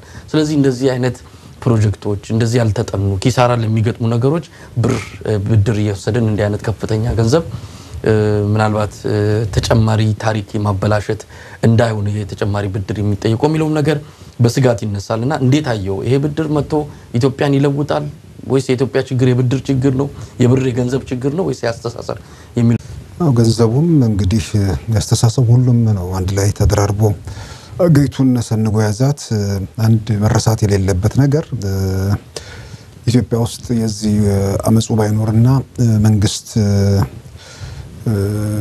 ባይለወጥ ኖሮ ራሱ ምን ሊሆኑ ይችሉ ነበር የሚለውን ነገር የተመለሰ አይመስለኝም። አንዳንዴ ሰዎቹ መቀሌ ቁጭ ብለው ሲመጻደቁ በጣም ይገርመኛል። ኢትዮጵያን ብድር ማጥ ውስጥ ከተው መመለስ የማትችልበት አደጋ ውስጥ ገብታለች። ዛሬ ኢትዮጵያ በውጭ ንግድ የምታገኘው ሶስት ቢሊዮን ዶላር አይሞላም። በብድር ምንድነው በአመት ውስጥ የምትመልሰው ብድር ከአንድ ቢሊዮን ዶላር በላይ እየሄደ መምጣቱ ነው እንግዲህ እየተነገረ ያለው። ከየት አምጥተህ ነው የምትመልሰው? በዚህ ደረጃ ሀገሪቱን አጣብቂኝ ውስጥ ከተዋት መበደር የማትችልበት የዳም ማጥ ውስጥ አስገብተዋት ባለበት ሁኔታ ስለዚህ አዲስ የመጣው መንግስት በዚህ በፋይናንስ በኩል ከፍተኛ ቀውስ ውስጥ ነው ያለው። ምንም ይሄ የሚያጠራጥር ነገር አይደለም። በደንብ አድርገው ሀገሪቱን ግጠው ዘርፈው የዘረፉትን ገንዘብ በተለያየ መንገድ አሽሽተው ኢትዮጵያን ማጥ ውስጥ መቀመቅ ውስጥ ከተው ዛሬም ከርቀት ሆነው ከአዲስ አበባ 700 ኪሎ ሜትር ላይ ሆነው ይመጻደቃሉ። አንዳንዴ በፈጸሙብን ወንጀልና ባደረሱብን በደል መጠን ሌሎቻችን እየተንገበገብን አይደለንም። ቀና ብለው መናገር አይደለም ልናያቸው የማይገባ ወንጀለኞች ናቸው። ግን ዛሬም ከነ ወንጀላቸው ከነ ኃጢአታቸው አፋቸውን ሞልቶ እየተናገሩ ያሉበት ሁኔታ ነው። ሶስት ቢሊዮን ዶላር አይኤምኤፍ ለምን ሰጠ የሚለው ነገር ሲመጣ መንግስት privatize የማድረጉ እንቅስቃሴ ላይ በተለይ ግዙፍ ፕሮጀክቶቹን በይፋ ተናግሯል። ስለዚህ በአንዱ በደጋግመው እነሱ የሚጠይቁት ያንን ነው። ጠቅላይ ሚኒስትር አብይ ወደ ስልጣን ከመጡ በኋላ የኢትዮጵያ አየር መንገድን ጨምሮ የተወሰነ ሰዎች ኢትዮጵያ አየር መንገድ ሲባል ያመናል፣ ምንም ጥያቄ የለውም። እኔ አሁንም ቢሆን ኢትዮጵያ አየር መንገድን በተመለከተ በመንግስት በኩል በተለይ የኢኮኖሚ ባለሙያዎች፣ ሀገር ወዳድ ባለሙያዎች ጭምር ጉዳዩ ላይ ገብተው አጥንተውበት በዛ በኩል የሚደረገው ወደ ግል የሚደረግ በእርግጥ ከግማሽ በላይ መንግስት ይዟል ተብሏል። ከግማሽ በላይ መንግስት ይዞትም ቢሆን ወደዚህ ያንን ለሌላ አካል በአክሲዮን ለማስተላለፍ የሚደረገው ነገር በጣም በጣም መታየት ያለበት ነገር ነው። መታየት አለበት ብዬ በግሌ ሳወራ ኢትዮጵያ አየር መንገድ ስለሚያሳሳን ብቻ አይደለም። የኢትዮጵያ አየር መንገድ ዋና ስራ አስፈጻሚ አቶ ተወልደ ገብረ ማርያም ከሸገር ሬዲዮ ጋር ባደረጉት ቃለ ምልልስ ላይ በደንብ በዝርዝር የተናገሩትንም ነገር አድምጫለሁ። ልክ መሸጥ ሲጀመር አየር መንገዶቹ እንዴት ማጥ ውስጥ እንዴት መቀመቀ ውስጥ ገብተው ከዛ ያን ያህል የገዘፈና ስማቸውን ሁሉ የሚያጡበት ሁኔታ እንደሚፈጠር ምክንያቱም እሳቸው ቀጥታ መሬት ላይ ያለው ሁኔታውን እየተረዱ ያሉ ሰው ስለሆነ እሳቸውንም ሌሎች ባለሙያዎችንም ጨምሮ በተለይ በኢትዮጵያ አየር መንገድ ላይ ያለው ነገር ተደጋግሞ በጣም ቢታይ የሚል እምነት አለኝ። አሳማኝ ነገር ከሆነ በተለይ ዋናውን part ዋናውን ክፍል ማለት ከግማሽ በላይ መንግስት ከያዘው የኢትዮጵያ ሕዝብ ንብረት ከሆነ የሚያሳምን ነገር ካለ ምንም አማራጭ የለም። ስለዚህ በዚህ በኩል መንግስት ይህንን እርምጃ ለመውሰድ ስለፈቀደ አይኤምኤፍ ጥያቄው ተመልሷል ማለት ነው። በሌላ በኩል ኢትዮጵያ ውስጥ እነዚህ ሰዎች የሚፈልጉት ዴሞክራሲ፣ ነጻነት ይፈልጋሉ። ኢትዮጵያ ከምዕራቡ ዓለም ምንድን ነው እርዳታ የምታገኝ ግን በአስተዳደሯ የሰሜን ኮሪያ አይነት አገዛዝ ውስጥ ነበር። የመጨረሻው ምዕራፍ እናስታውሳ ሁሉን ነገር ብቻቸውን ተቆጣጠሩትና የመጨረሻ ሲያቅታቸው በየአንዳንዱ ጎጆ ገብተው እኮ እኔ የመረጥኩልህን ቻናል ማየት የምትችልበት ሁኔታ መምጣት አለበት ብለው ይህንን ተመልከት፣ ያንን አትመልከት። ከዛ በኋላ የምንበላው ምግብ መምረጫ ጊዜያቸው ላይ ከመድረሳቸው በፊት እኮ እግዚአብሔር የገላገለን ለአንደኛው ክፍለ ዘመን ላይ ያልደረሱ ሰዎች ናቸው። ስለዚህ እነዚህ ሰዎች ትልቅ አፈና ሀገሪቱ ውስጥ አስፍነው ስለነበር አፈናው ተሰብሯል። አፈናውን ስለተሰበረ አይኤምኤፍ አንዱ ጥያቄው ተመልሶለታል። በሌላ በኩል ወደ ግል ሀብት የሚደረገው ምንድን ነው? እነዚህ ግዙፍ ፕሮጀክቶቹን ወደ ግል ለማዘዋወር መንግስት ስለፈቀደ እነዚህ መመዘኛዎች መነሻ አድርጎ የሶስት ቢሊዮን ዶላር ስጦታውን በተከታታይ ሶስት ዓመታት ውስጥ ይመስለኛል ለመስጠት ወስነዋል። ይሄ ምንም ጥያቄ የለውም። ሀገሪቱ ውስጥ ያለውን የታፈነ ኢኮኖሚ እንትን የተወሰነ ያነቃቀዋል። እሱም መረሳት የለበት እንትን ይላል። በሌላ በኩል መረሳት የሌለበት ነገር የሆነ ነገር በመጣ ቁጥር ከበስተጀርባ የሆነ ነገር ልለጥፍ ካልክማ መቆሚያ የለውም። እነዚህ ሰዎች ወደ ስልጣን ከመጡ በኋላ እኮ በየአመቱ እኮ በትንሹ ከሶስት ቢሊዮን ዶላር በላይ ቋሚ እርዳታ ያገኛሉ። ከ Organization for Economic Cooperation and Development የሚባለው ኦኢሲዲ፣ እነዚህ የበለጸጉ ሀገራት ተሰብስበው ለታዳጊ ሀገሮች የሚሰጡት ነው። በዚህ መልክ የተገኘው እኮ እነዚህ ሰዎች ከመጡ በኋላ የተሰበሰበው ገንዘብ እኮ ወደ 60 ቢሊዮን የአሜሪካን ዶላር አካባቢ ተጠግቷል። ይሄን ገንዘብ ተይዞ ይሄም አንሷቸው ከፍተኛ ብድር ኢትዮጵያ ላይ ሲጭኑ ነበረ። ሌላው ቀርቶ ሚሊኒየሙ የኢትዮጵያ ሚሊኒየም ከተከበረ በኋላ የ2002 ምርጫ ተካሂዶ የመጀመሪያው ትራንስፎርሜሽን እቅድ የሚል ነገር ካወጡ በኋላ ከፍተኛ ብድር ውስጥ ነው የገቡት። ለባቡር ፕሮጀክት አሁን ቅድም መሳይ ያልከዋል ባቡር ተብሎ አሁን ሄዶ እየተንገጫገጨ ለሚቆመውና ምናምን የረባ ነገር ለማያመጣው ለባቡር ፕሮጀክት ተብሎ ከአራት ቢሊዮን ዶላር በላይ ተበድረዋል። ለኃይል ማመንጫ ብለው ወደ 2.8 ቢሊዮን ዶላር ተበድረዋል። ለስኳር ኮርፖሬሽን ተብለው 2.1 ቢሊዮን አካባቢ ዶላር ተበድረዋል።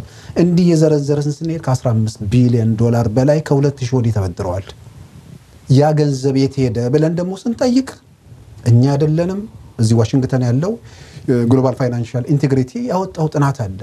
ከ2000 እስከ 2009 ብቻ በፈረንጆቹ ከኢትዮጵያ ከ11 ቢሊዮን ዶላር በላይ ሸሽቷል ይላል። ወደ መጨረሻ በከፍተኛ ደረጃ እየሸሸ መሆኑን ሲገልጽ በ2009 ብቻ የሸሸው 3.1 ቢሊዮን የአሜሪካን ዶላር ነው። ይሄንን የሸሸ የኢትዮጵያን ሀብት በተመለከተ የተባበሩት መንግስታት ከአፍሪካ Economic Commission ታቦ ምቤኪ ያሉበት ጥናት ላይ ተጠንቶ ኮት እና ኢትዮጵያ በከፍተኛ ደረጃ ሀብት የሚሸሽባቸው ሀገሮች መሆናቸው ተመዝግቧል። በዚህ መልክ ኢትዮጵያን አራቁተው ገንዘብ አሽሽተው ድህነት አስታቅፈውን ከሄዱ በኋላ ለምን ብድር ተገኘ ብለው እንደገና ደግሞ የሚንጨረጨሩት ነገር ነው የማይገባኝ። አንዳንዱ መንገድ ተሰራ፣ ባቡር ተገነባ፣ እንደዚህ ህንፃ ቆመ። ያን የሚሉት የተገኘውን ገንዘብ የማያውቁ ሰዎች ናቸው። የተገኘውን ገንዘብ የተሰበሰበውን ሀብት ለሚያቅሰው በተሰራው ህንፃና በተከፈተው መንገድ አይደለም የምንደሰተው፣ በተዘረፍነው ነው የምንቆጨው። ነገ በሚመጡት ልጆቻችን ላይ በተከመረው ዕዳ ነው የምንንገበገበው። ስለዚህ ብድሩ የመጣበት መንገድ ቀደም ሲል ባልኩት መንገድ privatize የማድረግ እንቅስቃሴውን ስለጀመሩ፣ በሌላም በኩል የአፈናው አገዛዝ ስለተሰበረ ነው እና አዲስ ነገር ነው ብዬ አላምንም። ጴጥሮስ ሲሳይ በሰፊው አንስቷል። ነገር ግን ይሄ ብድር የተገኘው እንደ እጅ መንሻ ነው ብለው የሚያነሱ ወገኖች አሉ። እጅ መንሻ የሚሉት ያው በአባይ ግድብ ዙሪያ ኢትዮጵያና ግብጽ የገቡት ፍጥጫ አለ። አሁንም ዋሽንግተን ዲሲ ያሉት የኢትዮጵያ ውጭ ጉዳይ ሚኒስትር ገዱ አንዳርጋቸው ስምምነቱን በተመለከተ ምንም የተለየ ነገር እስካሁን አላየንም፣ ገና ለሚቀጥሉት የቴክኒክ ቡድኑ ስብሰባ እንደሚያደርግ ቀጠሮ መያዙን ከመግለጽ ባለፈ ኢትዮጵያ እጅ መስጠቷን ወይ ደግሞ ሌላ ነገር ስለመኖሩ የሚታወቅ መረጃ የለም። ግን ውስጥ መረጃ አገኘም ብለው ግብጽ በውሃ ሙሊቱ ላይ ተሳታፊ ትሆናለች፣ በማይመለከታት ተጽዕኖ ልትፈጥር የምትችልበትን መድረክ እያገኘች ነው ብለው ይህንን ብድርንም ጨምሮ የኖቤል ሽልማቱን አፍ ማዘጊያ አድርገው የሚቆጥሩ ወገኖች አሉ። ያ በራሱ በሂደት ጊዜው የሚመልሰው ነው። ነገር ግን ይሄ ብር ሲመጣ ኢትዮጵያ እውነት ስር ነቀል ለውጥ ታመጣበታለች ወይ? እንግዲህ ኢኮኖሚውን ለማሟሟቅ ነው፣ የተጀመሩ አንዳንድ ነገሮችን ለማበረታታት ነው። ይሄ ብር በቂ ነው እንዳለው ሲሳይ በ10 ዓመት ውስጥ 11 ነጥብ ምናምን ቢሊዮን ዶላር የሸሸባት ኢትዮጵያ ተቋማዊ ቅርጽ ባለወጠችበት አሁንም በጠቅላይ ሚኒስትሩና በዙሪያ ባሉ ሰዎች ተራማጅነትና ራዕይ በስተቀር ሌላው እንዳለ ሆኖ በዚህ ብር እንደው የተባለውን ለውጥ ማምጣት ይቻላል። እንግዲህ ብሩ ይበቃል አይበቃም የሚለው ኢትዮጵያ ካላት የሕዝብ ቁጥር ብዛትና ደግሞ በየጊዜውም እየጨመረ ከመጣው የሕዝብ ቁጥር እድገት ከስራ አጥ ቁጥር እና ካለው ከፍተኛ የሆነ የወጣት ሰራተኛ ኃይል አንጻር ኢትዮጵያ ገና በጣም ብዙ ከፍተኛ resource ያስፈልጋታል። ግን አሁን ላይ ሚዲያው ላይ ምን አይነት ስራ ነው እየተሰራ ያለው? ኢትዮጵያ ያገኘችው አሁን ይሄ የሶስት ቢሊዮን ዶላር ልክ የኢትዮጵያን ታሪክ እንደሚቀይር አድርገው እና መንግስት ደግሞ እጁን ለመጠምዘዝ እንደተደረገ አይነት እንደ ልዩ ስጦታ አድርገው እየቆጠሩት ነው ያለው። እኔ እዚህኛው ላይ ብዙ ማውራት አልፈልግም። አንድ ጥያቄ ብቻ ግን መጠየቅ ፈልጋለሁ።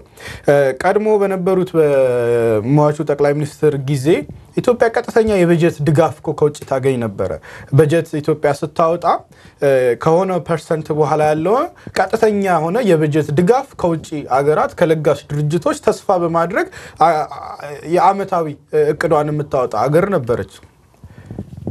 በዛን ወቅት ላይ የኢትዮጵያን እጅ ለመጠምዘዝ ነው ብሎ ያላሰበ ጭንቅላትና አእምሮ አሁን ላይ ኢትዮጵያ በተቻላት መጠን አገር በቀል የሆነውን ወይም ደግሞ ዶሜስቲክ ሬቨኗን በማሳደግ አገር ውስጥ ምርት አሰባሰብ የቁጥጥር ስርዓቱን የታክስ ስርዓቱን በማዘመን እና በመገንባት በተቻለ መጠን ባጀቷን በራሷ አብዛኛውን percent cover ለማድረግ በምትጥርበት ወቅት ላይ የኢትዮጵያን እጅ ለመጠምዘዝ እና ፖሊሲ ለማስቀየር ነው ብሎ ማሰብ እኔ ብዙ ያስኬዳል ብዬ አላስብም።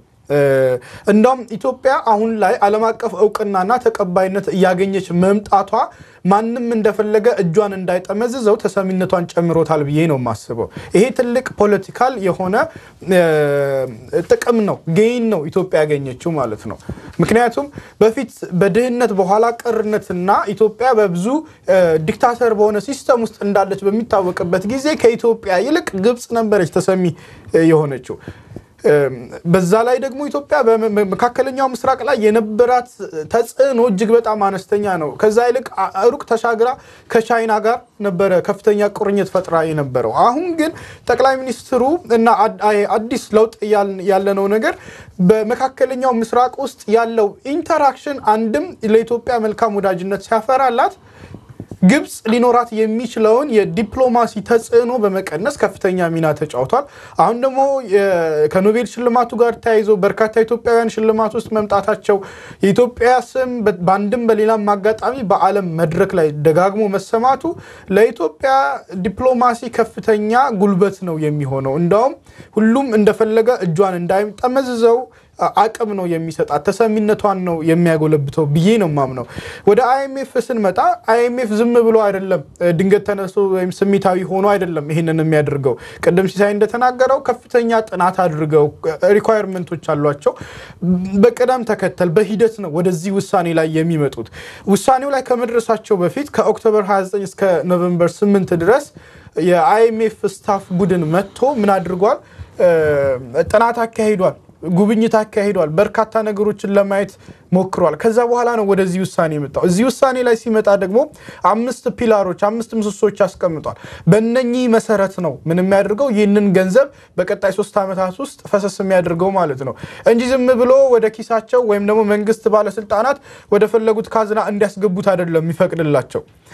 እነኚህ አምስቱን ነገሮች ማንሳት ከተፈለገ አንደኛ በዋናነት አይኤምኤፍ ትኩረት ያደረገው ኢትዮጵያ የውጭ ምንዛሪ ከፍተኛ እጥረት አለባት። ይሄ እጥረት ደግሞ መንግስት እጁ እንዳይዘረጋና በሚፈልገው መጠን እንዳይሰራ እጁን እያሽመደመደ ያለ ነገር ነው። ስለዚህ በአንደኛነት ያስቀመጡት የውጭ ምንዛሪ እጥረቱን ለመቅረፍና መንግስት የተሻለ እጁ ተፈቶ መንቀሳቀስ የወጪና ገቢ ንግዱ ላይ እንቅስቃሴው እንዲሟሟቅ እንዲጠነክር ለማድረግ ነው። ሁለተኛ በመንግስት ቁጥጥር ስር ያሉ ኢንተርፕራይዞች አስተዳደርና ቁጥጥር ወይም ደግሞ አያያዛቸውን ለመደገፍና ለማጠንከር በመንግስት ስር ያሉ ትልቅ ሜጋ ፕሮጀክቶች አሉ፣ ኢንተርፕራይዞች አሉ። እነኚህን አስተዳደራቸውን ለማዘመንና ለመደገፍ እንዲሁም domestic revenue mobilization ን ለማጠናከር አገሪቷ በአመት ውስጥ የምታገባውን ምርት የምትሰራውን ስራ እና ያላትን አጠቃላይ እድገት እሱን በደንብ mobilize ማድረግ እንዲቻል እንዲሁም የድህነት ቅነሳ፣ የመሰረተ ልማት ዝርጋታ ላይ ሙሉ ትኩረቷን አድርጋ መስራት እንድትችል ጉልበት እንዲሆናት ነው። በአራተኝነት የፋይናንስ ሴክተሩን የገንዘብ ተቋማትን ለማጠናከር እና የገንዘብ ፖሊሲ framework ኡን ለማዘመን ነው። ምክንያቱም አሁን ዓለም እየሄደበትና የተራመደበት ካለው ስልጣኔ አንጻር ኢትዮጵያ በጣም ብዙ ወደኋላ ቀርታለች። ስለዚህ ፋይናንስ ስርዓቱን ማዘመን ይፈልጋል። የቁጥጥር ስርዓቱን ማጠንከር ይፈልጋል። በአምስተኛነት የክትትል ቅርጽ እና የፋይናንስ ደህንነትን ለማስጠበቅ ነው። ስለዚህ በእነዚህ አምስት pillar ኦች framework ኦች ውስጥ አድርጎ ነው ምን የሚያደርገው ይህንን ገንዘብ የሚሰጠው። ስለዚህ ኢትዮጵያ እያንዳንዱ ነገር ላይ በተቀመጡላት መስፈርቶች መሰረት መንግስት አውሎታል በትክክል ወይስ አላዋለውም እያለው እየተመዘነ እየተለካ ውጤታቸው እየታየ ነው ብሩ ቀስ በቀስ እየተሰጠ የሚሄደው ማለት ነው። ይሄ ደግሞ በእርግጥም የኢትዮጵያን መንግስት የሚደግፍ ነው። በዋናነት እዚህ ጋር ልናነሳ የሚገባው በተለይ ኢኮኖሚው ላይ የሚደረገው ድጋፍ ፖለቲካው ላይ ይዞት የሚመጣውን ተጽዕኖ በደንብ ማስተዋል አለብን። አሁን ያለውን ከፍተኛ የሆነ የስርዓት ችግር እንዲሁም ከፍተኛ የሆነ የስራ አጥ ቁጥር በመቀነስ ድህነት ቅነሳ ላይ በቀጥታ ፈሰስ የሚደረገው ባጀት እንዲሁም የመሰረተ ልማት ዝርጋታው እንዲሁ ያለ ስራ እየዋለለ ያለውን ወጣትና በቀላሉ በንፋስ እየተወሰደ ለሀገሪቷ ሌሎች ችግሮች ሰበብ እየሆነና እንዲሁ ለችግር ተጨማሪ ችግር እየሆነ ያለውን ስራ አጥ ክፍል ምን ያደርገዋል? ወደ ስራ እንዲገባ የሚያንቀሳቅሰው ከፍተኛ መሳሪያ ነው ብዬ አምናለሁ። የመጨረሻ እዚህ ላይ እኔ ልጨምር የምፈልገው ምንድን ነው፣ ባለፉት ስርዓት ውስጥ ይህ ሁሉ ብድር እየገባ ፎቆች ተገንብተዋል። በአይን የምናያቸው ነገሮች ተሰርተዋል። እነኚህ ፎቆች ግን ለስንት ሰው የስራ እድል ይፈጥራሉ? የስንት ሰው ጉሮሮን ይደፍናሉ? የስንት ሰው ቀዳዳን ይሞላሉ ብለን ማየት አለብን። ከተማ ውስጥ ችምችም ተብሎ የተሰራ ፎቅ አለ ማለት ለብዙ ኢትዮጵያውያን የስራ እድል ፈጥሯል። የሀገሪቷን ኢኮኖሚ ከፍ አድርጎታል ማለት አይደለም። In fact ብዙዎቹ በሙስናና በጥቂት ሰዎች የተገነቡ የትም ቦታ ተሰራጭተው የሚገኙ ህንፃዎችንና የግል ንብረቶችን ነው የምናገኘው። ስለዚህ አሁን IMF እየሰጠን ያለው ድጋፍ መንግስት በትክክል አገር በቀል የሆነውን የኢኮኖሚ ሪፎርም ለመደገፍ ስለሆነ መንግስት ደግሞ አገር በቀል የሆነውን የዚህን የ economic reform አስቀጥሎ ከሄደና የስራ ፈጠራ ሂደቶችን በደንብ ካዘመነ ከጨመረ በእርግጠኝነት political ላይ ያለውን instability እና ችግር መፍታት የሚያስችል ጠንካራ ኢኮኖሚያዊ ወይም ምጣኔ ሀብታዊ ድጋፍ ያገኛል ብዬ አስባለሁ። ወንድማገኝ እንግዲህ ያለን ደቂቃዎች ትንሽ ናቸው። ምናልባት በዚህ ጉዳይ ላይ ኢትዮጵያ በአደባባይ ተሸጠች የሚል አጀንዳ ከፍተው ቅስቀሳ ያደረጉ ወገኖች እንዳሉ እየተከታተልን ነው። እንግዲህ እነዚህ መሪዎች እነማን ናቸው? በተለይ አሁን ኢትዮጵያን በመሪነት የያዟት ግለሰቦች ወይም ሰዎች እነማን ናቸው የሚለውን የታሪክ ዳራቸውን እስካሁን ሲያደርጉ የነበሩትን በትክክል ከተገነዘብን ለዚህ አይነት ስራ ኢትዮጵያን አሳልፈው የሚሰጡ ናቸው የሚለው ነገር በእውነቱ የሚያሳምን ነው ብዬ አላምንም። የኢትዮጵያን ኩራት የመጨመር የማሳደግ በዓለም አቀፍ ደረጃ ያላትን ቦታ የበለጠ ከፍ ለማድረግ ተስኖ የመፍጠርና ኢትዮጵያ በእርግጥም በታሪክ ትልቅ ሀገር ነበረች። አሁንም ታላቅነቷን ጠብቃ እንድትቆይ ከልብም የሚሰሩ ናቸው ብዬ ነው ማምነውና በቀላሉ በገንዘብ እጃቸው ተጠምዝዞ የኢትዮጵያን ፍላጎት የኢትዮጵያን ክብር አሳልፈው ይሰጣሉ የሚል እምነት የለኝም። ይሄ የፖለቲካ ውሳኔ እንደሆነም ይገለጻል። የኢኮኖሚ ውሳኔ አይደለም።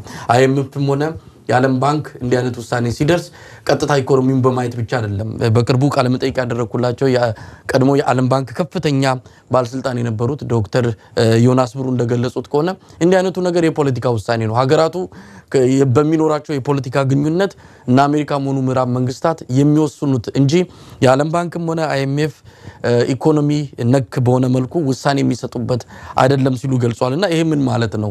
ፖለቲካዊ ተጽዕኖ እንደው የፖለቲካ አጀንዳ ተሸክሞ በመምጣት ኢትዮጵያን አሳልፎ የሚሰጥ ነው የሚለውም ነገር ሊነሳ ይችላል።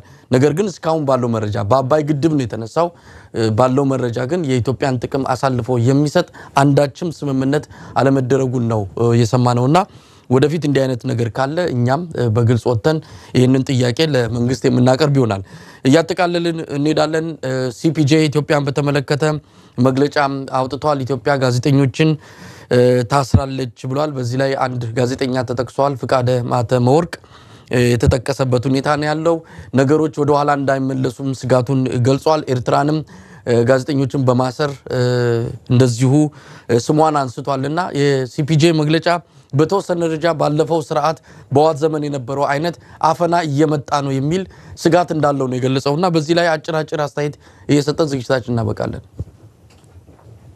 ጥሩ መሳይ እንግዲህ ሀሳብን የመግለጽ ነፃነት መሰረታዊ ነው። ቅድም ከኢኮኖሚ ጋርም ስነጻጸር ልማት የነፃነት ልጅ ነው ይባላል። ልማት በሌለበት ወይም ሀሳብን የመግለጽ ነፃነት፣ የሚዲያ ነፃነት በሌለበት ውስጥ የአንድ ሀገርን እድገት ማሰብን አይቻልም። ብልጽግናና ነፃነት የተቆራኙ ናቸው። የአንድ ሳንቲም ገጽታ ናቸው። ምናለ እንዲህ አይነት ኢትዮጵያ ላለፉት ሀያ ሰባት ዓመታት ያለፈችው ነበረ። በሲፒጄ በኩል የሚወጡ ጫዎች እነዛን ነገሮችም ታሳቢ ያደረጉ ናቸው። ሰሞኑን ደግሞ እየሆኑ ያሉት ነገር ለምሳሌ በፈቃዱ ማህተም ወርቅ ላይ የጊዮን መጽሔት አዘጋጅ ነው። ጊዮን በየሳምንቱ ምትታተም ከለውጡ በኋላ የመጣች መጽሔት ነች። አስተማሪ ነች። በኢኮኖሚ በማህበራዊ ጉዳይ ላይ የምትሰራ ነች። እስካሁን እንግዲህ ባየነው መሰረት በጊዮን መጽሔት ላይ ለሀገር ጉዳት የሚያስከትሉ አደጋዎችን ወይም የህዝብን ጥቅም አሳልፈው የሚሰጡ ነገሮችን ሀሳብ የመግለጽ ነፃነትን የሚጻረሩ ነገሮችን አላየንም።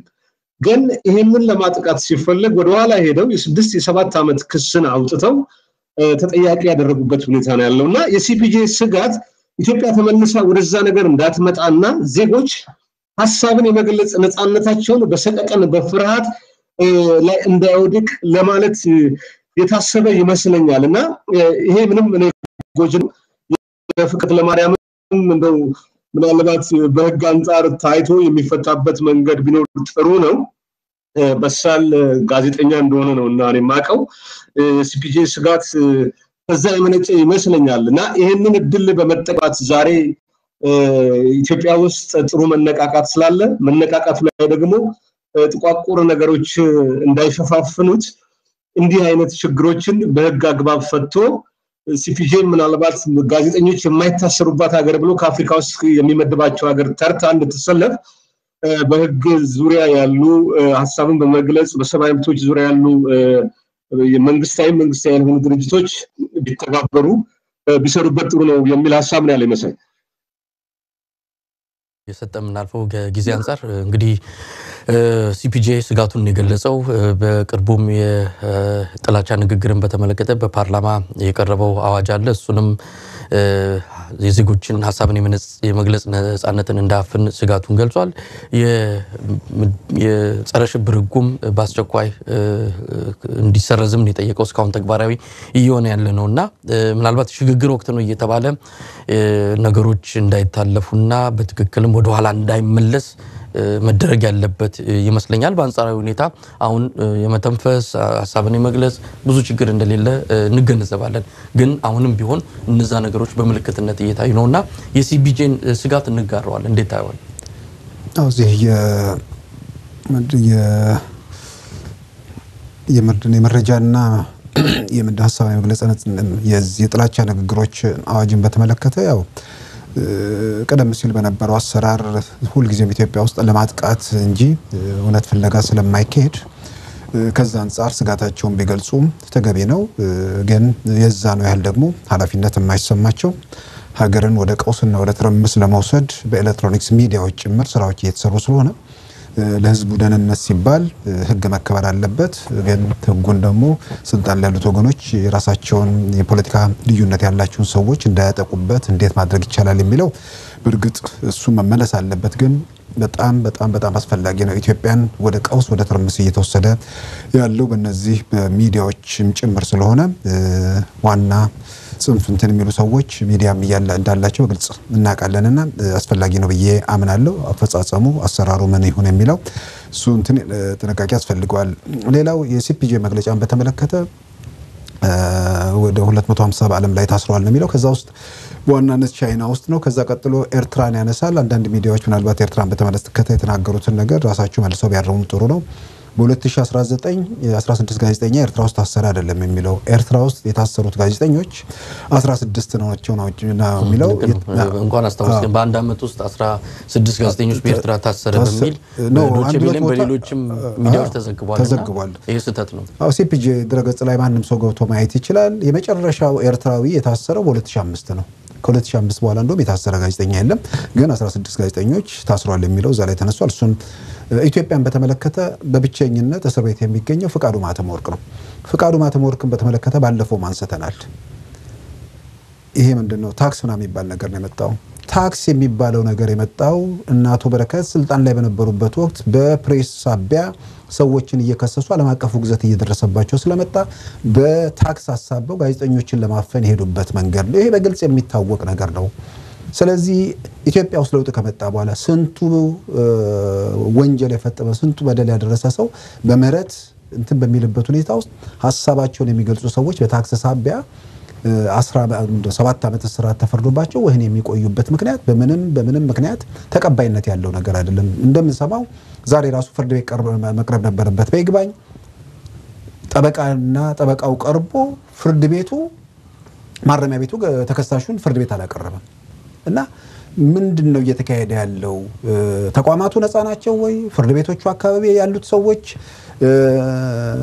ከዚህ ቀደም የነበረውን ነገር ለመወጣት የሚሄዱ ናቸው ወይ? ይሄ ነገር መታየት አለበት። ምክንያቱም የፍቃዱ ማህተም ወርቅ እስራት ባይኖር ኢትዮጵያ በ2019 መጨረሻ አሁን አንድም ጋዜጠኛ እስር ቤት የሌለባት ሀገር የሚለውን ነገር ይዛ ትወጣ ነበር። ያ አለመሆኑ ራሱ ያሳዝናል። ተቋማቱ መታየት መፈተሽም ያለባቸው ይመስለኛል።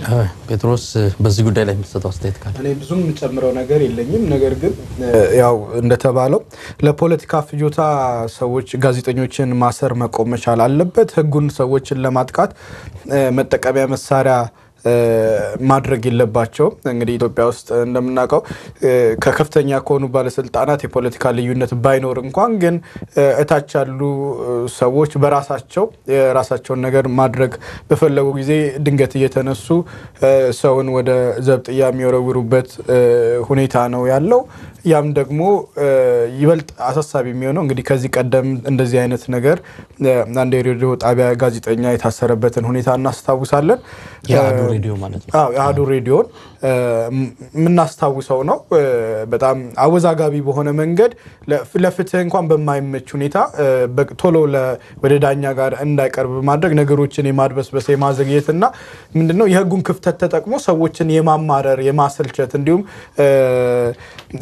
ስነ ልቦናቸውን የመጉዳት አይነት አካሄዶች ናቸው ያሉት።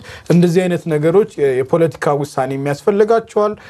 የፍትህ ስርዓቱ ላይም ያለውን ከፍተኛ ክፍተት የሚያሳዩ ነገሮች ናቸው። ስለዚህ በጣም ጥንቃቄ ይፈልጋል። ምክንያቱም ይሄ የአንድ ጋዜጠኛ ጉዳይ ሳይሆን የሀገር ጉዳይ ነው። አንድ ጋዜጠኛ ሲታሰር አብረን የምናየው የሚነሳው እንግዲህ አሁን ሲሳይ አንስቶታል። ኢትዮጵያን በ2019 ሊኖራት የሚችለውን ገጽታ በአንድ መልኩ ምን አድርጓል? ጥቁር ነጥብ አስይዞ የሚያልፍ ነገር ነው የሚሆነው። ስለዚህ የፖለቲካ ውሳኔ የሚያስፈልገዋል። አፋጣኝ ምላሽ መሰጠት ይጠበቅባቸዋል። እንዲሁም በተለይ ማረሚያ ቤቶች አካባቢ ተደጋግሞ እየተሰማ ነው። ፍርድ ቤት በቀጠሮ ቀን ተጠርጣሪዎችን ይዞ አለመቅረብ ወይም ደግሞ ሰዎችን ይዞ አለመቅረብ እና ፍርድ ሂደቱን ማስተጓጎል በጣም እየተደጋገመ የመጣ ጉዳይ ነው። ስለዚህ መንግስት በዚህ ጉዳይ ላይ በጣም ትኩረት ሰጥቶ ሊሰራበት እና ቶሎ መፍትሄ ሊሰጠው ይገባል ብለን እናምናለን። እንግዲህ እንዳላችሁት የፍትህ ስርዓቱ እስከታች ድረስ መለወጥ አለበት። ስር ነቀል ለውጥ ሲባል ላይ ያሉት አመራሮች ብቻ ሳይሆን ታች ድረስ ለውጡ መኖር አለበት። እስካሁን ያሉት በፍርድ ቤትም በወህኒ ቤትም በተለያዩ በጣቢያውም ያሉት ሰዎች ያው ናቸው። የግንዛቤ ለውጥ አምጥተዋል ወይ ላይ እንዳሉት ውስጣቸው ተራማጅ ነው፣ ለውጡን ተቀብሎታል የሚለውም ነገር አጠያቂ ነው እና መንግስት በትኩረት ሊያዩ ይገባል የሚል ነው። እንግዲህ ተመልካቾቻችን የዛሬ ዕለታዊ ፕሮግራማችን ባዳመጣችሁት ወይም በተከታተላችሁበት መልኩ ተጠናቋል። አብራችሁን ስለቆያችሁ ምስጋናችን ከልብ ነው። ከለንደን ወንድማገኝ ጋሹ፣ ከዚህ ከዋሽንግተን ዲሲ ሲሳይ አጌና፣ ጴጥሮስ መስፍንና መሳይ መኮንን አብረናችሁ ቆይተናል። ነገ በተመሳሳይ ስርጭት እንጠብቃችኋለን። ኢትዮጵያ በክብር ለዘላለም ትኑር። ጤና ይስጥልን።